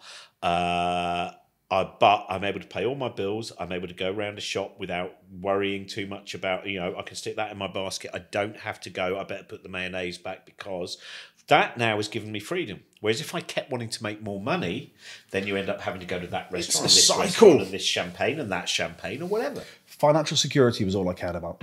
Yeah. That was the thing. It's because once you're financially secure, you can make good decisions. Um, Yeah. Bad decisions are made when you're not financially secure. I've seen it again. You know, my my Brigham was one where you know you would you know debt collectors might come and take things, right? Um, and you know, we used to like quick turn the lights off and lie on the floor, you know that sort of thing, right? But good decisions don't get made when you're constantly worried about oh, do we have enough? You know, is the emergency electric going to go? You know, are we going to oh, are we going to sit here in the dark? it's only when financial security comes in. That's not always easy to attain, but you're absolutely right. Just you know, having the freedom to make your, your own choices, both creatively, but also you know, I mean, again, you know, the person down the mine isn't going home and painting; they're knackered. Yeah. You know, and again, figurative. Nobody's down the mine, but Some of them are the pitmen painters. yeah, but no, I know, and it is. Yeah, I think that whole thing of th- this is the the bit the the moment you you realise you are in such a tiny percentage of people, as I realise that I uh, predominantly only do things that I'm interested in doing. I enjoy almost my whole life, uh, and I'm financially secure. And you go right. I'm I'm in such a tiny percentage of people. it's crazy, isn't it, when you think about it and you look at people and you know, again, I, I think of my family and I think of financial security and I think if only I could. You know, you can't give that to somebody. Yeah. I can't pick it up and go, "Here's one financial security. Enjoy it." You know, you've kind of got it. It's, it's hard to get to yourself. I mean, at what point did you feel like you could make decisions based on what you wanted to do and not what was going to pay the bills? And I guess you came from you're not going to Chapman College and things like yeah, that. I don't no, want to I mean, assume. it- it's one of the things that I think a, a lot of of uh, middle class people and beyond don't realise the difference you have in never having experience, as you said, you know, the the the bailiff coming around and and that into the difference that you have the number of options it's like you know that whole thing of people who are very wary of doing further education because oh what is that what's the financial reward now you know which Hmm. I wouldn't is- have done it. I didn't. I, yeah. you know, I, I, It's I so just, precarious. It terrifies me. The idea of debt terrifies me because of what I've seen. See, I have that. That's my thing. Is I, I never go into debt. I, I apart from having a mortgage, that was it. Uh, my dad was very specific in, in terms of of living within your means, and and I don't think I probably realised, you know, to be comfortably off, to uh, and and I wish more people would accept that because that's why my friend Josie Long runs Arts Emergency, which is great. I absolutely love Arts Emergency. Yeah. I've donated to the, you know, yeah, yeah, it's it's, and, and it's that thing of going until we. Re- everyone is not people. I think people make the mistake of going. Well, I'm kind of living the average life of everyone. And when I was growing up, I wasn't living the average life of, of everyone, and no one's living the average. And that bit where you go, hang on a minute, and, and it's you shouldn't be ashamed. Again, going back to that kind No, of Laurence Fox absolutely thing. shouldn't be. You don't have to be No. ashamed. You have to acknowledge it. It's in that same way that people go, "Oh my god, they're making us feel guilty about everything." You don't have to feel guilty when we're dealing with misogyny, when we're dealing with transphobia, when we're dealing with racism, whatever it might be. It's not about making you feel guilty. It's about making you acknowledge and go, "It should be better," because that person has had to struggle a lot more than I've had to struggle and uh, and it doesn't mean you know what I would always say is everyone struggles because being human is a struggle. It's filled with it's our human existential condition. anxiety. You know, you've never met a person yeah. that hasn't had to meet a challenge and either you know overcome it or you know kind of allow Yeah. it to, to wash It over just them. means or there's not there's not parity in the struggle. There are you know that's that intersectionalism and all of those things, which is to say, look, it's a very very complex, but don't say I'm on the same. You know, well, we're all a bit like that. You know, well, well. No, other people have different struggles, and it doesn't mean that you are negated. And you you go, oh, well, I suppose it, it's a narcissism, isn't it? What I mean, you see that with all of those Trump people and things like that. You know, well, oh, by Trump people, I mean Donald Trump. Yeah, that whole kind of. I think you'll find I'm the real victim here, and that whole thing is it's like self pitying people never have the room to have pity for anyone else, and that politics is is that self pitying. that you know empathy is is enormously missing in those kind of people, right? And Yeah. I mean, do you know what the, my favorite videos are the ones where they say, "Oh, can you believe that uh, Biden said this?" And then, like, oh, what a reprehensible! And then, uh, and then they say, "Oh, actually, it was Trump." And they're like, "Well, I'm sure he meant this." And Yeah, you know, yeah, they, yeah. you know, the, the kind of you know moral and uh, intellectual gymnastics, allegedly intellectual gymnastics, they must do to try and then you know say, "No, actually, this I'm sure this is what Trump meant when he said you grab her by the pussy." It's like, oh oh yeah, no, cool. Uh, anyway, I mean, So we, amazing, yeah. US politics is, it blows my mind. It is entertainment now, and that's you know. I remember when Trump was first elected. Um, you know, I, I just was like, this is going to be chaos. Uh, but but like you know, we're all going to watch it. It's like a car crash you can't take your eyes from. Um, but Well, the entertainment thing is a very important thing for people. I don't think people seem to realize. there- There's a great book called "Amusing Ourselves to Death" by uh, uh, Neil Postman, which came out in the early '80s, uh, which is about how everything is turned into entertainment. And then there was a uh, another book written by Chris Hedges. I've forgotten the name. I remember being out in New York and reading it before Trump had actually got the presidential nomination, and it started with a bit about Trump. This was ten years before, but about the way that all of our political communication in the US now was done in the style of basically a wrestling match. yeah, I mean, it is. And, that, and that's what it is. And, and this is what people don't realize about the news as well. People think of the news as a factual outlet, as opposed to it's about entertainment and it's about viewing figures. Um, and, and then you you know and, and I don't mean uh, but yeah that's why I use alternative news websites because most of those Will still are have a also bias, monetized and about fin- finance. But the moment that you think there's some superiority in the non-domicile owned newspapers which you know I always find whenever I'm abroad and look back and see what is in the newspapers in the UK I go oh my god Stalin would blush at this level of propaganda am, amongst a lot of them you know? And but that bit of just having and it's a skepticism. You just go hang on a minute why is it? Because i'm sure all of us have had something where we've been involved in a story or you know on a march whatever and you know what actually happened and then you read that version of events. What's it called? Do you know about Gell-Mann amnesia? Murray Gell-Mann, the physicist, he, he would say that you know if he got to a newspaper article about physics he'd go well that's not right well, that's not the year that happened that's not why we, we're researching that field that's all wrong and then he'd turn the page and go oh, that's very interesting about the and he'd go hang on a minute what is the likelihood that the only subject they don't know about just happens to be the subject that I know about? Mm. If that article about what I know about is predominantly wrong, then do you know what? Page five is probably predominantly wrong, and page six. And that bit of every time, you know, that that skepticism, I think, is really important because we've been so misled so many times and unfortunately, so many newspapers are they have the least curiosity, the least compassion. That you know, I, I, found a friend of mine found a copy of the Sunday Mirror from the thirty first of August, nineteen ninety seven, which was the day, the day Diana. Yeah. So what happened? I don't know if you know this story, right? So, so all of the, the, the Sunday newspapers are printed very, very early. Used to be printed very, very early. So all the newspapers to the northeast of England and Scotland had gone already. Now the whole of that month the newspapers had focused on saying that Diana was uh, stupid, uh, betrayal, the affair uh, with she was having sex with, yeah. you know, all of these things. It was really vicious. Now, of course, all the papers that went to the northeast and Scotland still had those front pages and all that. Now, this copy of the Sunday Mirror obviously went to the southeast because they'd managed to change page one, two, and three. But then you get to the columns, and there is Carole Malone, regular on the Jeremy Vine show, and various others, basically saying what an awful, stupid woman who should shut her face.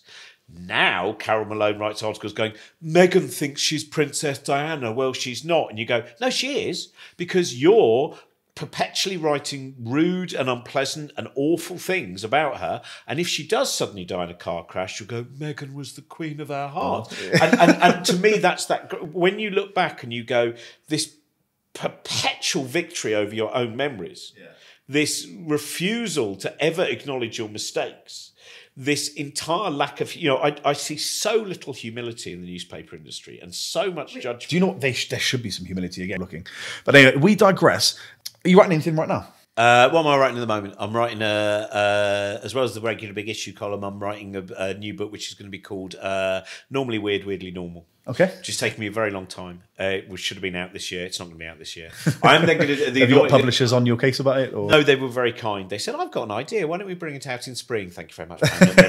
and and it's because it's about what I'm trying to do is I'm trying to make it for as broad an audience as possible in terms of exposing lots of things that people think are weird in themselves. So a lot of it is actually about um, ADHD and autism and the lack of understanding and how we can change the world to make it uh, a much better place for people who very you know can very often have remarkable abilities but find them very hard to to in the situation they're put in and about and it's about trauma and the prefrontal cortex and all manner of things. But it's one of those ones where I really want one of my favourite things is when someone after a show feels freer to be alive than they did before. And uh, that like you know when someone well my, my show on radio 4 reality tunnel you know the first reaction to it one of the people wrote to me was in their 60s and said i always thought there was something wrong with my brain and the way it just makes all these connections and all of these thoughts and i keep kept it all hidden for my whole life because i thought i must just be mad and i just heard your show and i realized that i'm not the only one. Mm. there might be loads of us and if not there's two of us you know? And that's the thing where so i want to get that I want the book to be as useful as possible to the largest number of people who, as we know, so many people. It's when I when I wrote the book "I'm a Joke and So Are You" was my, one of my first realizations that the number of people who felt they could come up to me and tell me, you know, be, be very tell me incredibly honest things about their life, which is one of the things that I love about performing. Is I think I hope the audiences that come see me they trust me, and you know they they there's people I become friendly with, and there's people who and I want, you know, I, I really want people to feel happier to be alive because when I wrote I'm a Joke and So Are You, I found out how many people, the moment they leave their front door, the, the shell is on. Mm. And the fear that they're walking through the world with, and the anxiety, and all of that, and it's not good enough. And and we, you know, unfortunately, now we live in a world with the way the healthcare system works. Is you know, even people who know they're going through difficult times with dark and troublesome thoughts, it's almost only when you then attempt to do something or that it's very you know that you actually see someone acting out a level of i'll use the word insanity It's only then, it's only when actually society goes, oh, well, actually, they knocked over that and they broke that and they set fire to that. Well, if someone's going and saying, look, I'm aware that I'm going through these things, the damage, the extra cost to them, socially, uh, psychologically, all of those things, the extra cost, if you just want to pragmatically say, the extra cost for society. Well, Mike McCarthy, the guy yeah. I mentioned earlier on, the Baton of Hope guy who co founded that, his son Ross had gone weeks previous to and said, I'm not okay. I'm not doing well. And the system was like, cool, we'll see you in six months. Yeah. And he's just like, okay, well, I guess I guess I'm not getting help. You know, I'm not getting the support that I need. Don't want to put words into his mouth, but you know, it was it was um, you know, it's, it's powerful to think the system's just letting us down. I mean, have you ever been in that position where you just feel like have you been in that kind of particularly dark been, place? I mean, what I generally I would have very long periods of suicide ideation. Right. Uh, but I've never attempted anything. When was so, when so did this start? They would. Do you know what? Eight years old. Right. I used to get so worried about the world. In particular, when I was growing up, there was this great, big fear of rabies coming. And for some reason, as an eight-year-old, isn't it weird? The things that, just, quicksand, rabies. Yeah. You know? and, and I was, and I, I, I, talked about this on stage once because it was a way. In, I, I basically, I had this. I, I did this. I was out in Australia and I became friendly with this woman who was a former head teacher. And one day when we were sitting in a hotel having a drink, she went, uh, "You should do material about suicide because her daughter had taken her life." And she felt that if we lived in a world where you can just talk about these things and and that's what i really found was and so i had so i talked about the fact that i used to uh, try and kill myself by holding my breath that's true, and, and then then you actually find out that, that that's, that's not, it's not going to work. That we've got this kind of survival system. so, so I turned into a comedy routine, but then would also because I was chatting with someone who told me about they, they, they, said, "Oh, you won't know about this, Robinson." But I actually tried to take my life on three occasions, and the person's very, very happy now. But putting it, you know, when people go very selfish, and you go, you literally don't know how much someone's become disconnected because for this person. I said so when you it, it, one thing which I, I used to use because you can tell an audience start to get a bit worried there so I thought oh, I need to get to a punchline quite early and it was the fact that on the Friday he went to take his own life and then went, hang on a minute, I don't want to kill myself today or I'll miss the weekend. I'll do it on Sunday. Yeah. So and I said, you know, and your children? He said, I thought they might miss me for a couple of days. And that's what happened. You know, and that bit of being able to, um, so I've been kind of lucky. I've, I've normally just had, I, I, you know, I used to have quite lengthy periods of, of, of a kind of what I would call a grey dog, not necessarily fully black, but I would, and it could take something very little minor. It could be, I did a 24 hour live uh, show, science show with, we had connections with all scientists in every one of the continents, right? It was and, and myself and my friend Trent. This was about this was just after lockdown, so we couldn't properly do the normal Christmas show. And, and my friend Trent, who is brilliant, uh, who I do all my stuff with on Cosmic Shambles or whatever, and let's see, you know, let's do something really ridiculous. And at the end of it, unusually for Trent and me, we both went, we did really well, and and we sat and we, you know, one in the afternoon there, and then I got home the next morning and it was like, "Hey, you're back, well done." And then I just got told, why have you put that there? And again, the kind of with the ADHD thing, what you find out is, is it can just take a tone of voice and your emotional circuitry just fries. And that was it. I just shut down. And the thoughts were just all negative thoughts for three months. I think that's what people don't realize is it's not about it's not about cash in the bank. It's not about what you've got or don't have. It's it, it can just be that thing that tips you, that thing yeah. that pushes you close to it. I mean, and the I always, you know, I, I, always think about the fact that when people say, it's not that you want your life to end, you want your life to end then, yeah. at that moment in time, and then you know when the people that have survived attempts then talk about, no, I did, I wanted it to end, I did, but then I realised I didn't. Yeah. You know, and there was a realization after that fact. Um, it is really, really tough material, like, tough material, tough, a tough to- it's topic just really, to touch I mean, on. But you know, an interesting thing is suicide ideation is actually so common it's, that it's it? not even part of the test for not of neurodivergence because right, it's actually the, you're more likely to be asked a question like, uh, "Do you leave the cupboards open?" To which you may well reply, "Well, I don't think I do, but my partner says I do." You know, which is just that that actually ultimately, strangely enough, despite its banality, far more illustrative of the way the emotional circuitry in the working memory is. Um, and I think you know if we live in a, a, world where people can openly talk about that, and and you know one of the things that I find interesting hanging around with neurodivergent people is there's not much banter. You have a really amazing time because you're all so excited about what you're talking about, but you don't keep trying to put each other down. Right. And I think you know that again is I ultimately I'm sure people enjoy banter or whatever, but in the end there's nearly always someone who's losing. And my, a bit like when you go you know night of comedy. Do, do you know Alistair Green? Have you ever No, seen his stuff on no. Instagram? He does this incredible little sketch, which is just him sat at the front row of a comedy club, just going, "Please don't pick on me, please don't pick on me, please don't pick on me." Well, oh, oh yeah, and it's just the horror.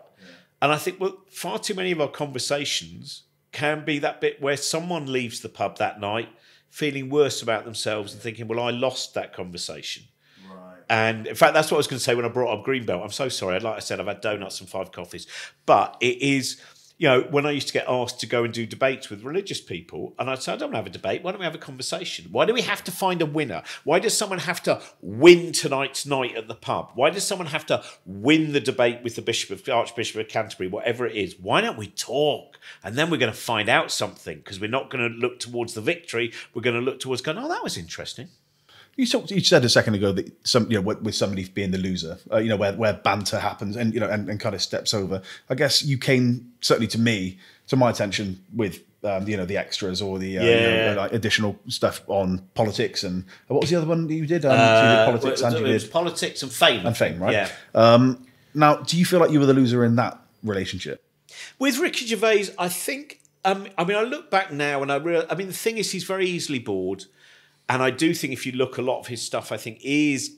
I look back now and I think it is bullying. Really, it is. I mean, I remember one night where we were. Um, there was it was a Christmas party, and and Rick used to make up this diary about me, and uh, and he decided to read it to everyone, and I forget how weird it is so I'm, I'm very good at sometimes just acclimatizing to things which I go, actually, this is really weird. So at the time, did you feel like it was weird? I, I realised that everyone else was really. Mackenzie Crook eventually went, Rick, can you stop doing it, please? It really, you know, he found it very. And people who knew me did not, you know, I, I would go through it, but people who knew me did not like the, the way that relationship worked. But we were, you know, we were, we were what I would call gag friends. We'd ring each other up a lot and we'd talk to each other a lot. And I think the sad thing is, I found it very difficult when he was. I saw some of his recent material, uh, the trans jokes in particular, and I thought, and we'd argued about this. We, we, you know, I used to often say to him, "Look, man, this is this stuff's really, you know, when you've got Laurence Fox and Tucker Carlson and Nigel Farage, uh, uh, you just, uh, you know, really enjoying stuff. It's not good enough just to say, well, people have got the jokes wrongly, because if that many people are getting the jokes wrongly." And it's not necessarily good enough to say that everything is ironic and you don't mean it if you also have lots of people using those punchlines as memes of philosophy for life. You know, you have to decide are you the philosopher king or do your jokes mean nothing? And it was really interesting when, so eventually I thought I, I want to, you know, there's a lot of non-binary and trans people, you know, LGBT people who who you know love Monkey Cage and all of that kind of stuff. And I, I didn't want anyone to feel that because of my connection with him that I, I also would have agreed with with this kind of the anti-trans stance. So I wrote what I think was a very gentle blog post. I mean, I didn't, you know, I'm sure I could have sold it to someone. I didn't try and sell it to someone. I just put it on on on my my blog on Cosmic Shambles, and uh, which we don't have any advertising. It doesn't make any, you know, it's nothing like that. And the reaction was really vicious. And From Ricky. Well, from everyone. I I never heard from Ricky again. We never spoke again. When was the last time you spoke? Uh, I must have been a week before I wrote that. Right, and that was what two years ago. Yeah, something like that. And I just think it's, and, and I think it's, I understand it, but I also go, hang on a minute. If you spend your life going, you're going to, hey, everyone in the world, you're going to hear things you don't like, get over it. Well, and yet, I wrote, and I remember being really shocked because there was, like, it ended up on, you know, I trended on onto, you know, that bit, got a text, sorry to see what's happening to you, and you go, See, that's not happened to me. Not not oh, yet. Oh, Well, see, the, only Brian time- Cox, the Brian Cox thing was almost like you know. Yeah, but, I can but it's not about yeah. me. Do you know what I mean? It's about you know I'm just a conduit through which. But it was you know, yeah, so, so I had about you know three or four days of of, of trending on that, and, and it was like, and I didn't mind, and I was I was like, I just ignore it, and and of course a lot of the a lot of the anti-trans people, I mean, they you know, and and, and that can be very difficult as well because I think one of the powers is especially you know if, if you're trying to be progressive to get people saying you hate women. And you go, I don't hate women. What are you talking about? You know, in fact, the only reason I ever started really getting involved in in looking at what was going on in terms of you know uh, attitudes towards trans people was because I saw my cis female friends getting a huge amount of abuse and threats for the fact that they were saying they were trans allies. And again, in the most gentle way. And I thought, hang on a minute, this is all being focused as if you know there, are people who organise such enormous pylons, and, and no one realises that they think it only happens on one side. But you know, I don't think there should be a you know vicious abuse. I I, I abhor that as any form of argument. But uh, you know, I was siding with with friends of mine who who have been feminist activists, all of them, in fact, for their whole lives, often to the the, the you know detriment of their career, and and some of whom have had hate on that, and and so. That's the only reason I got. So I was getting all that stuff, and I was like, "Oh well, that that's but I was I was a bit I, I, suppose it's that thing you just have to so that was the end of our friendship but it was um, I think I did the right thing and I, I stand by it but I was really shocked. About six months later uh, there was a Sylvia Lancaster who was the mother of Sophie Lancaster who was uh, a, a, a, young woman who was beaten to death uh, and and she then started an anti-bullying campaign. And when Sylvia died I thought oh I should I'm going to put that column up again. Actually, that that blog up again, blog post. As in to reshare it. Yeah, because I I felt it was partly about bullying, how comedy can be bullying, and how I've done it. You know, oh man, this is the whole thing. You know, you don't. When I was younger, I don't think I really I saw a joke as just a joke. But what's funny is when I was I was looking at some of your stand up yesterday, and you said, um, well, it, it was um, it it it made me laugh. Um, I'm old enough to be the parent of some of the people in here if I came from a different social yeah, yeah, yeah. economic group, and which I'd never do now. Now, because that was me. Yeah, I was that kid, and, and know, it but... was, and I, I, and I know what the joke, and I know what to me it meant. It did was not in any way meant to be a dismissal of other people.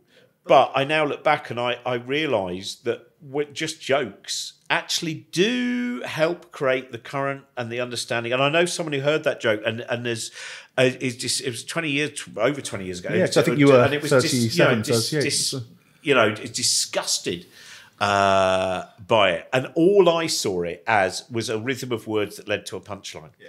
And I, I love the fact. I mean, the shows that I do, as much as possible, I try and be really positive. A lot of them are about love, and you know, people say, "Oh no," you know, you get that thing. We go, "Yeah, but comedy's always been about hate," and you go, "No, it hasn't."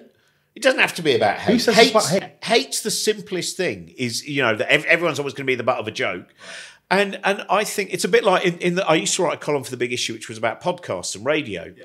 and I would only review things that I liked. So sometimes I go, oh, I'm going to listen to that. That I really like that comic, and then I go, oh, I didn't really like it. Oh, well, I'm going to write about something else. Yeah, I mean, do, do you know what? I think we should do that more. Yeah, I think don't just, write about what you hate. You, tell me okay. like, like, the book you've given me. You know, looking at the book before the coffee gets cold. You you, you want to share something you love. Of course, that's. I mean, what it's, it's a very human thing to want to share something. But but again, going back to the media, you know, if it bleeds, it leads. Yeah. You know, that's the, that's the thing, and we as humans are quite um, predictable with what we'll share, and you know, um, hatred, um, you know, anger, those things are powerful emotions that allow that you've got to find out about this. You know, it's, it's the but they're punches as well. So, so love has a much longer tail than hate. Hate very often, boom, and then you need another kick. Oh, I need to hate someone else. Oh, I need to hate someone else. And and like in, in the gig I did last week, I ended up doing a. a I wrote a poem about telling people that you love them. There was it was uh, let me celebrate you now while you can still hear the cheer. Don't let me wait until you're gone to be fond. Don't let fear of embarrassment stifle my delight. And that, that's kind of how it starts. And Beautiful. and the next day, you know, the number of people who are getting in contact with me, and I, it's my favourite thing when someone goes, "Oh, by the way, who's that poem by?" Ah, yeah. the poem is by me. Um, but and I I get such a kick. It's like that thing, you know, when you just do something to help someone, mm. like you see someone has got a heavy suitcase yeah. and you're in a hurry, but you go, oh, you know what? If I miss the train, I miss the train. Yeah. And if I had that, I was at Euston when when the uh, escalators were broken, and I just saw at the top of the spiral staircase there was the suitcase, and I, I, remember going, "All oh, right, I'm gonna." Uh, I, I, oh, do you need help? Oh, thanks so much. And so I missed missed the train, and got the next train, and then this person was getting off the train, just came up to him and went, Can I just say, I absolutely love your podcast. Uh, I hope you don't mind me bothering you. Anyway, thanks. I'm just getting off here. Yeah. So the reward was one, I was glad that I helped her. It felt nice, you know, that bit of just looking out and going. you know, friends, and like secondly, I was then rewarded by someone coming up and saying something really nice to me who wouldn't have been on the other train that I got on. And it didn't matter if that person had come up or not, but it, it was one of those reminders that sometimes when we measure everything out in oh my god i'm going to be three minutes late oh my god this this this this and this and you go ah to hell with it uh, you know what that train's packed and i can wait today and i will wait today Again, I, not in too karmic of a way, but you know, I do think positivity begets positivity. You know, and you are the sum of the people you spend your time with, and you you choosing to to do that. It's you know, again, friends. There's no such thing as a selfless good deed, right? But also, you know, your life will be you know just in that tiny, almost imperceptible way, improved by that person Yeah. having come up to you and you know said, "I love your podcast," and it's a, it's a lovely thing. It's just affirming, isn't it? Do you feel like you're famous? no How do you deal with being renowned or I being don't at all. I don't think about it. I literally I make stuff, and sometimes people come up to me and say something nice to me. Generally, and uh, when I used to be on Twitter, sometimes people would you know say really horrible. Are you just not on Twitter me. anymore? Yeah, I just gave. I, I I felt it was such a negative space, and I also feel that it has the illusion of being a promotional tool when actually it's not. Most research shows that it, it's not very effective. It, you you look like you're having interaction, but it's fake interaction. But yeah, so I don't think about it at all. I I really try, and uh, don't even try. I just live a normal life, and uh, I normally hang around with the audience. I find that you probably meet more interesting people in the bar than you meet in the green room a lot of things. You know, I was, I was doing this Doctor Who convention and just hanging around with the people who were working in the kitchen and having a great time. And it's a really weird thing to me. It literally is that thing where I, I just said to them, want a cup of tea? And I was so I was making tea for people and I heard someone going, I can't believe he's making tea. because Like you're they, incapable. they thought that well, they thought I would. Brian Cox is, in fact, very, bad, very bad tea. But it, it, it's that bit that there's meant to be. I, I don't like the idea of again. I, perhaps it goes back to my dad. I don't like the idea of saying I'm on stage and you're not.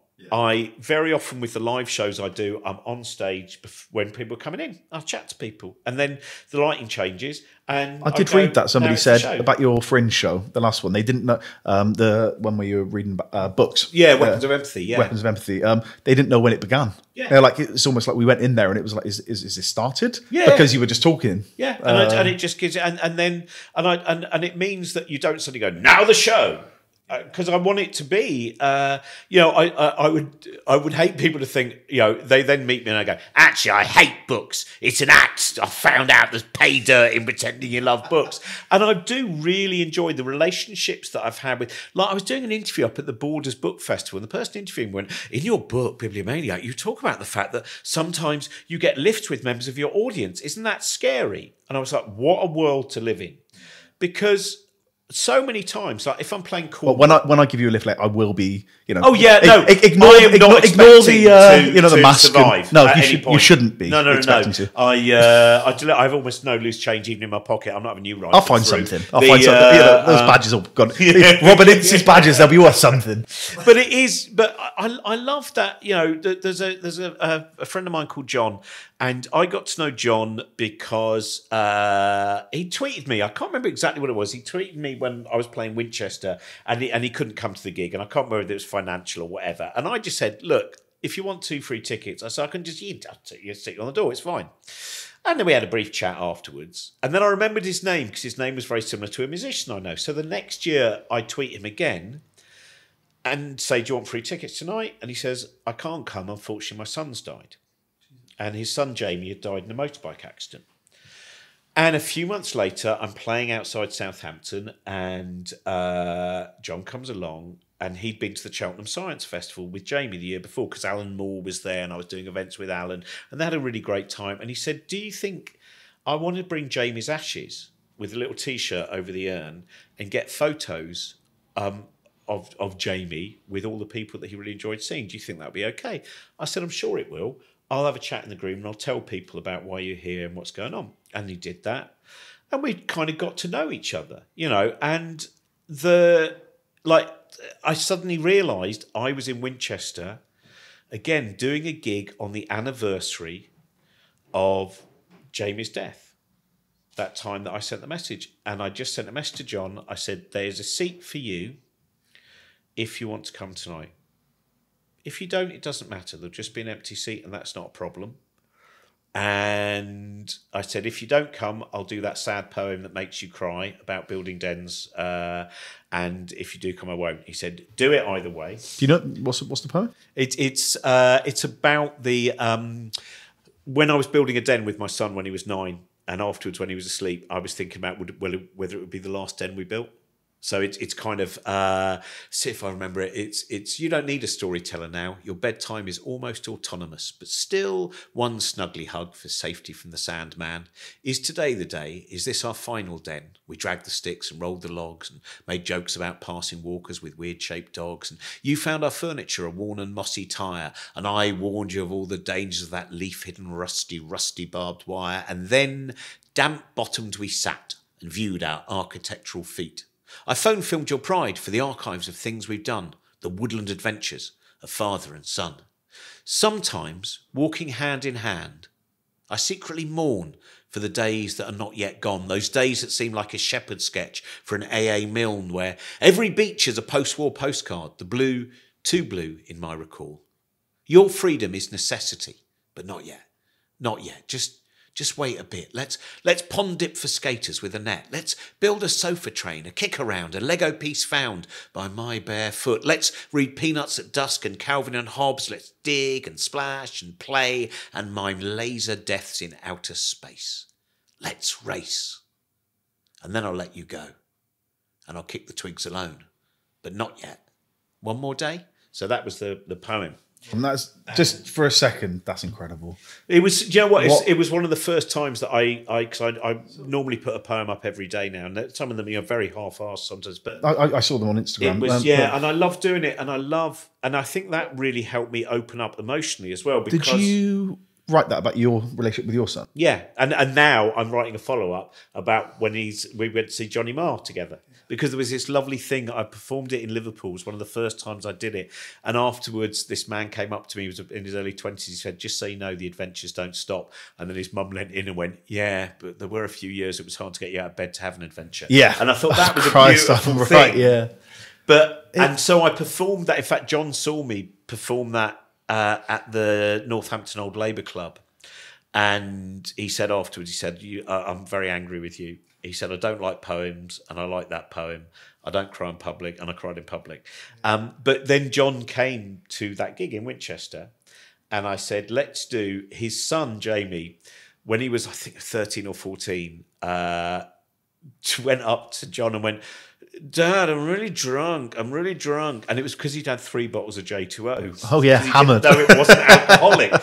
so, one of the things that John and his family do is they go and uh, pour J2O down the drain near where Jamie died.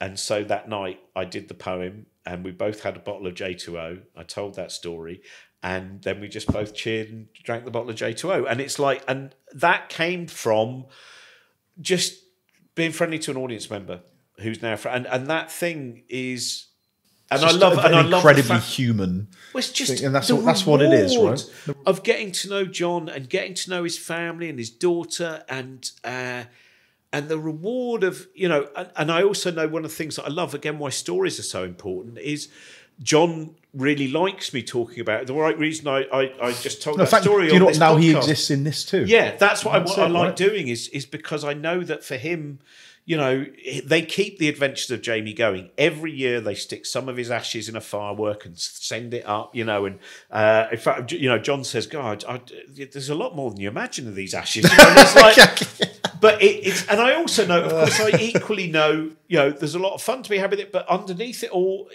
there's a terrible, terrible loss and he's able to have you know both and and and so those it helps us understand it right yeah. helps us put it into perspective i mean as you were um, reciting that. And again, thank you so much for that because it does, it brings a tear to your eye. You know, I mean, I'm a dad of four and there's that, you know, there was the last time that I picked some of them up. You know, it's that, that, you know, there was the last time that you went out and played with your friends. Yeah, yeah. When you were a kid. And then, and, and it's, Christ, I mean, I, I'm, I, I get over sentimental about things like that constantly. probably don't get overly sentimental. You probably get correctly sentimental. I, I think there's no. This is we we should not put down that you know we we just it's again we're talking about hate and love. I find it hilarious that people are embarrassed. To, like I, like WOMAD, there uh, when I played the literary stage there last year, the woman who's running the stage came up to me and she went, "Oh my god, this is so embarrassing, but I'm I'm a big fan of your work." And I said, "Well, hopefully." It's not embarrassing. Hopefully, your friends haven't said you should be really embarrassed. And I said, if you are, you know, you should be embarrassed if you came up to and went, "Oh my god, uh, everyone here hates you, and we're really annoyed that we've booked you." That would be embarrassing for me. It's embarrassing for everyone. The fact that you enjoy what I make is not you know I, what a reward that you're able to and, and i think that's we still have this tremendous fear of of saying because it's one of the things that going back to the boarding school thing like my friend ed who i mentioned he our first conversation he told me to piss off right? He was quite red-faced. We were on a school bus. We'd come back from some kind of sporting thing. And i probably just said to him oh yeah this was really tiring wasn't it doing all that? And he'd piss off. And the reason he did that i know now is because within a term he had realized that any showing of yourself meant that probably someone was trying to get at you. And so I, in my naivety, was often very friendly to people who thought everyone was a threat. Now imagine that, ima- you know, that schooling that means you hide. I, I think Adrian Edmondson has that. Adrian Edmondson, I think you sometimes see it in autobiography, which is obviously, I think the boarding school he went to, he learnt never to say that he loved anything because if you say you love something, it gives someone a power over you. They think because they can smash it and say it's rubbish. In the same way, if you say if you're chatting to girls, oh, you're chatting to girls, uh, Spooner, well, or whatever it was. all of that to me is totally the opposite because you don't. If someone then says that's rubbish or whatever, you can just go, yeah, whatever.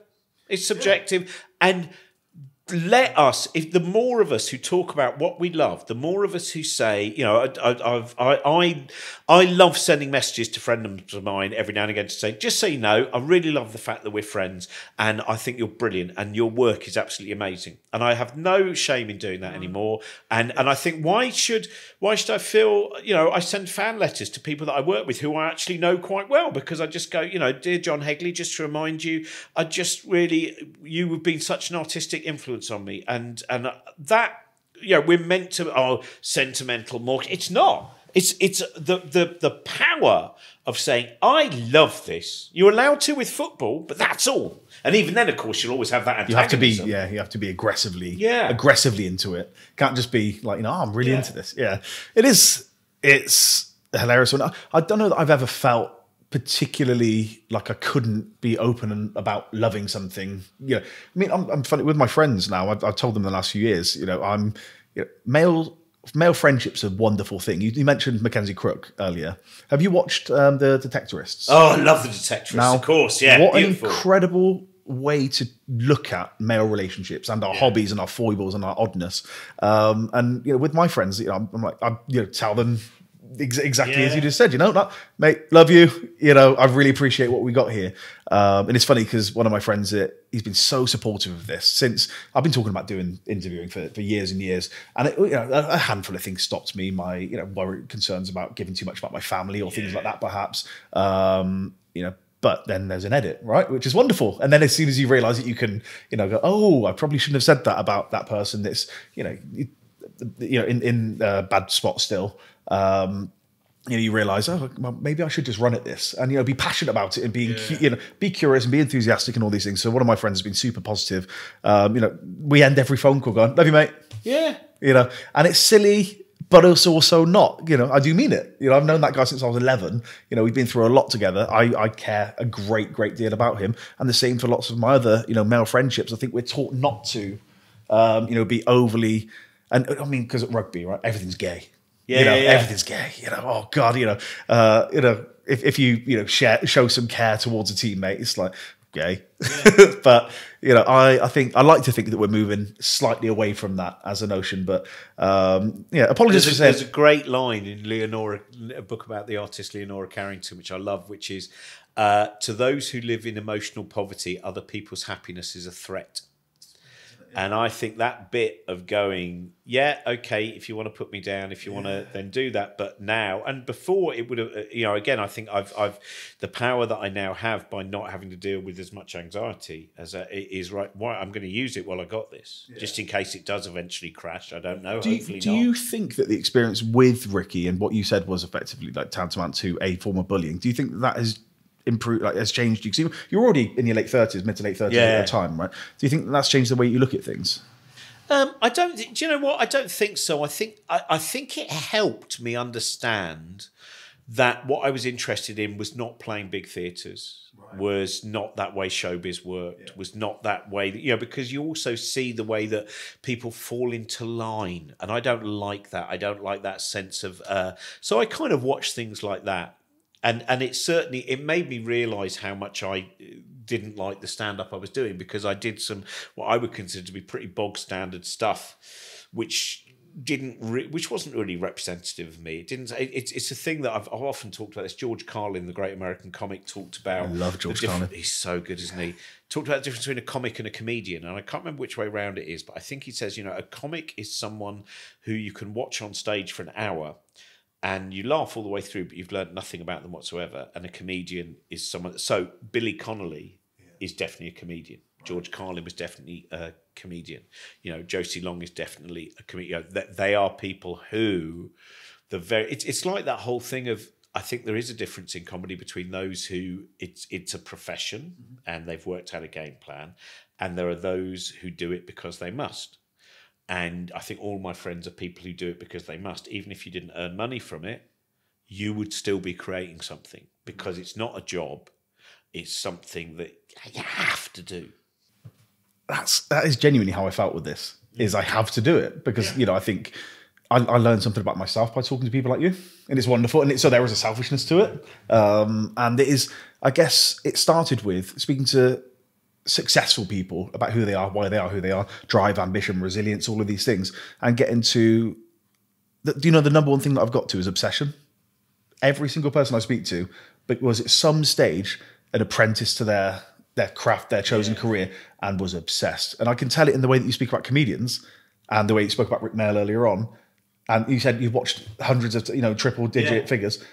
Again, you- you're not you know you're you're not um, taking that notion away from me of it's obsession. Oh yeah, gets- I've never and I've never lost that. I still I love sitting with people when we just talk about the history of comedy. Like there's a wonderful guy who runs gigs up in the northeast of England called Peter Dixon, and he's been going to gigs since the 1960s, and he's got such a rich knowledge, and he still just loves gigs, and he loves comedians, and he loves all that, and and it is the joy of talking to him and the joy of people, but you know, that excitement about sometimes, you know, someone that no one else has heard of, some strange little novelty act, or the joy of someone's making a, a documentary at the moment about the Iceman. You know, the Iceman. Yes, um, He's the guy who used to stand on a block of ice and try and melt it over the 20 minute set he had and then note down the block of ice. And that was the end of that experiment, right? It was, it's in those days Right, of okay. alternative cabaret.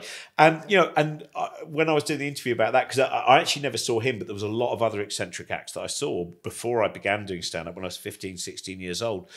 And I just love, you know, and the people making that documentary, like a lot of the documentaries that I make with Trent, that I put on Cosmic Shambles, they're made because we can, and we know that no one else will make them otherwise. You know, making the documentary about my dad's books and and the connection with those books, that was a great way of me. Two days after my dad died, going with my sisters, let's make something, let's make something concrete out of this. And then, you know, when I go down, oh, I'm going to a library today, and they're going to take me down the cellar where all the books are stored. Let's make a documentary about that cellar. Let's make a documentary about the Large Hadron Collider. Let's make a documentary about this Doctor how do you like when you when you get an idea like that? How do you then bring it to life? Well, fortunately, I say, Trent, let's make this. And Trent has to go and get all the equipment out and everything. So I am the, the annoying person who's always bubbling. And then who's selling that into broadcasters or you know who? We don't do it. We literally just put it on the website, and, and we try and we don't make a you know any money from it really. You know, you you you can support us, and that's great. So please do go to Patreon. Uh, but yeah, Cosmic. Sh- I, I'm really proud of what we made because I think we we have such. I mean, we've got about twelve documentaries which we haven't finished making because we've got all the raw material. Because Trent always goes, "You do know I have to edit them, and Oh, yeah. them and everything." And go, "Yeah, well, hurry up, hurry up, hurry up, hurry up! I've got another idea. I've got another idea. Hurry up, hurry up!" no, uh, you know, somebody's going to have to edit this, right? yeah, I just but I love you know, and, and Trent is so great to work with, and I'm so pleased that we we got to know each other, and and he is just you know, and and so I'll suddenly be doing like when we started doing the when I was doing this Doctor Who convention up on the Wirral for for my friend Erica, Sylvester McCoy was up there and stuff, and we just started making documentary. And what I love is. I just said, well, let's just start doing something and just see, you know, we don't know what it'll turn into. Might just be a little piece for Erica about her Doctor Who convention. But then we started talking to people, and very quickly I realised it was going to be a documentary all about the importance of diversity, how Doctor Who helps so many people, in particular LGBT community, giving them role models and giving, you know, for generations now. And so now we're going to make a half hour documentary, an hour long documentary about how Doctor, you know, that thing I was saying about Tom Baker walking down the street and the kid from the care home. You know, all of that side of Doctor Who, that side of how those on the outside had a place to go when Doctor Who was on and still do. And, and now I'm even more excited by it because I'm like going, ah, what we thought was just going to be a quick documentary we made in a day is actually now going to be one of my grand projects. Hurry up, Trent, hurry up, you know. Brilliant. So you got 12 on the go. Yeah, and we've got. We, I can't remember the next one that's going to go out. We've got. I've done. I've done a bunch with Stewart Lee and I did a bunch of uh, conversations about Italian westerns, not the really famous. Of course you did. ones. Yeah, Why yeah. didn't- why wouldn't know, you? And that was a lot of fun, and so that's How do, going out. how do you even have a knowledge of Italian westerns? I'm interested in everything. That's why I have no depth on anything. But it's like really interesting because what we realised as we talked is a lot of the low budget Italian westerns, which are really amazing. One of the things that's great about them is because there's such a low budget, the only thing that exists is the set and nothing else. So it is like the horseman is coming from a world that does not exist, comes into existence like a ghost in the town, and then vanishes into. So it becomes almost like kind of you know science fiction horror kind of thing. So we're off to Cheltenham now. You're Yeah. going to the Science Festival. Um, what are you going to be talking about? Uh, today we're doing a children's special, which is great. So it's all schools that are coming, and we've got twelve questions that have been given by uh, various members of schools, and we've got Jess French, who's great. She's really uh, uh, Adam Kay, the doctor who who wrote uh, this. What's it? This may hurt. I've forgotten the name of the book now. And and Steve Backshall, who's who's wonderful. So we're just gonna. So that will be a lot of fun to do. Amazing. Well, Robin, I yeah, we, we probably should go. So Yeah, thank I'm so you. sorry. I'd like to. Uh, Christ, it's I mean- an absolute joy to talk to you, and I I, I would like to apologise to everyone for how many non sequiturs. It's, it's wonderful because it gives me so many things to then come back to and and you know try and pick up pieces, but also it's, it's just great fun chatting to somebody who's got so they're so enthusiastic about everything. You know. Yeah, and- I'm so you know to, to to finally get the release to just you know have an enthusiasm which underneath did not have this you know the the the, the grey dog yapping is is a joy. Oh, there you go. That's a great way to end it. Robin, much Thank appreciated, you. mate. Cheers. And we're back. I hope you enjoyed it. I told you he's got one of those brains. He's an incredible brain. Um, keeping him on task, keeping him on track. It, it, two people that go off on tangents left and right. Um, hopefully, didn't hurt your head too much. Uh, I had a lot of fun doing that. As I said, lots to think about with the podcast and you know the show in general and, and all that stuff. I'm going to stop being cryptic. It's boring. Nobody likes that. Follow us at the Starting Line Show or at Starting Line Show on Twitter, Instagram, TikTok. Um, I post content. You, you might like it. Who knows? Um, Facebook, Starting Line Podcast, and on LinkedIn as well. And if you want to get in touch, it's hello at startinglinepod.com. I think that's everything. All of the plugs, all of the chat. I'll leave you alone now. Have a great time. Goodbye. Forever.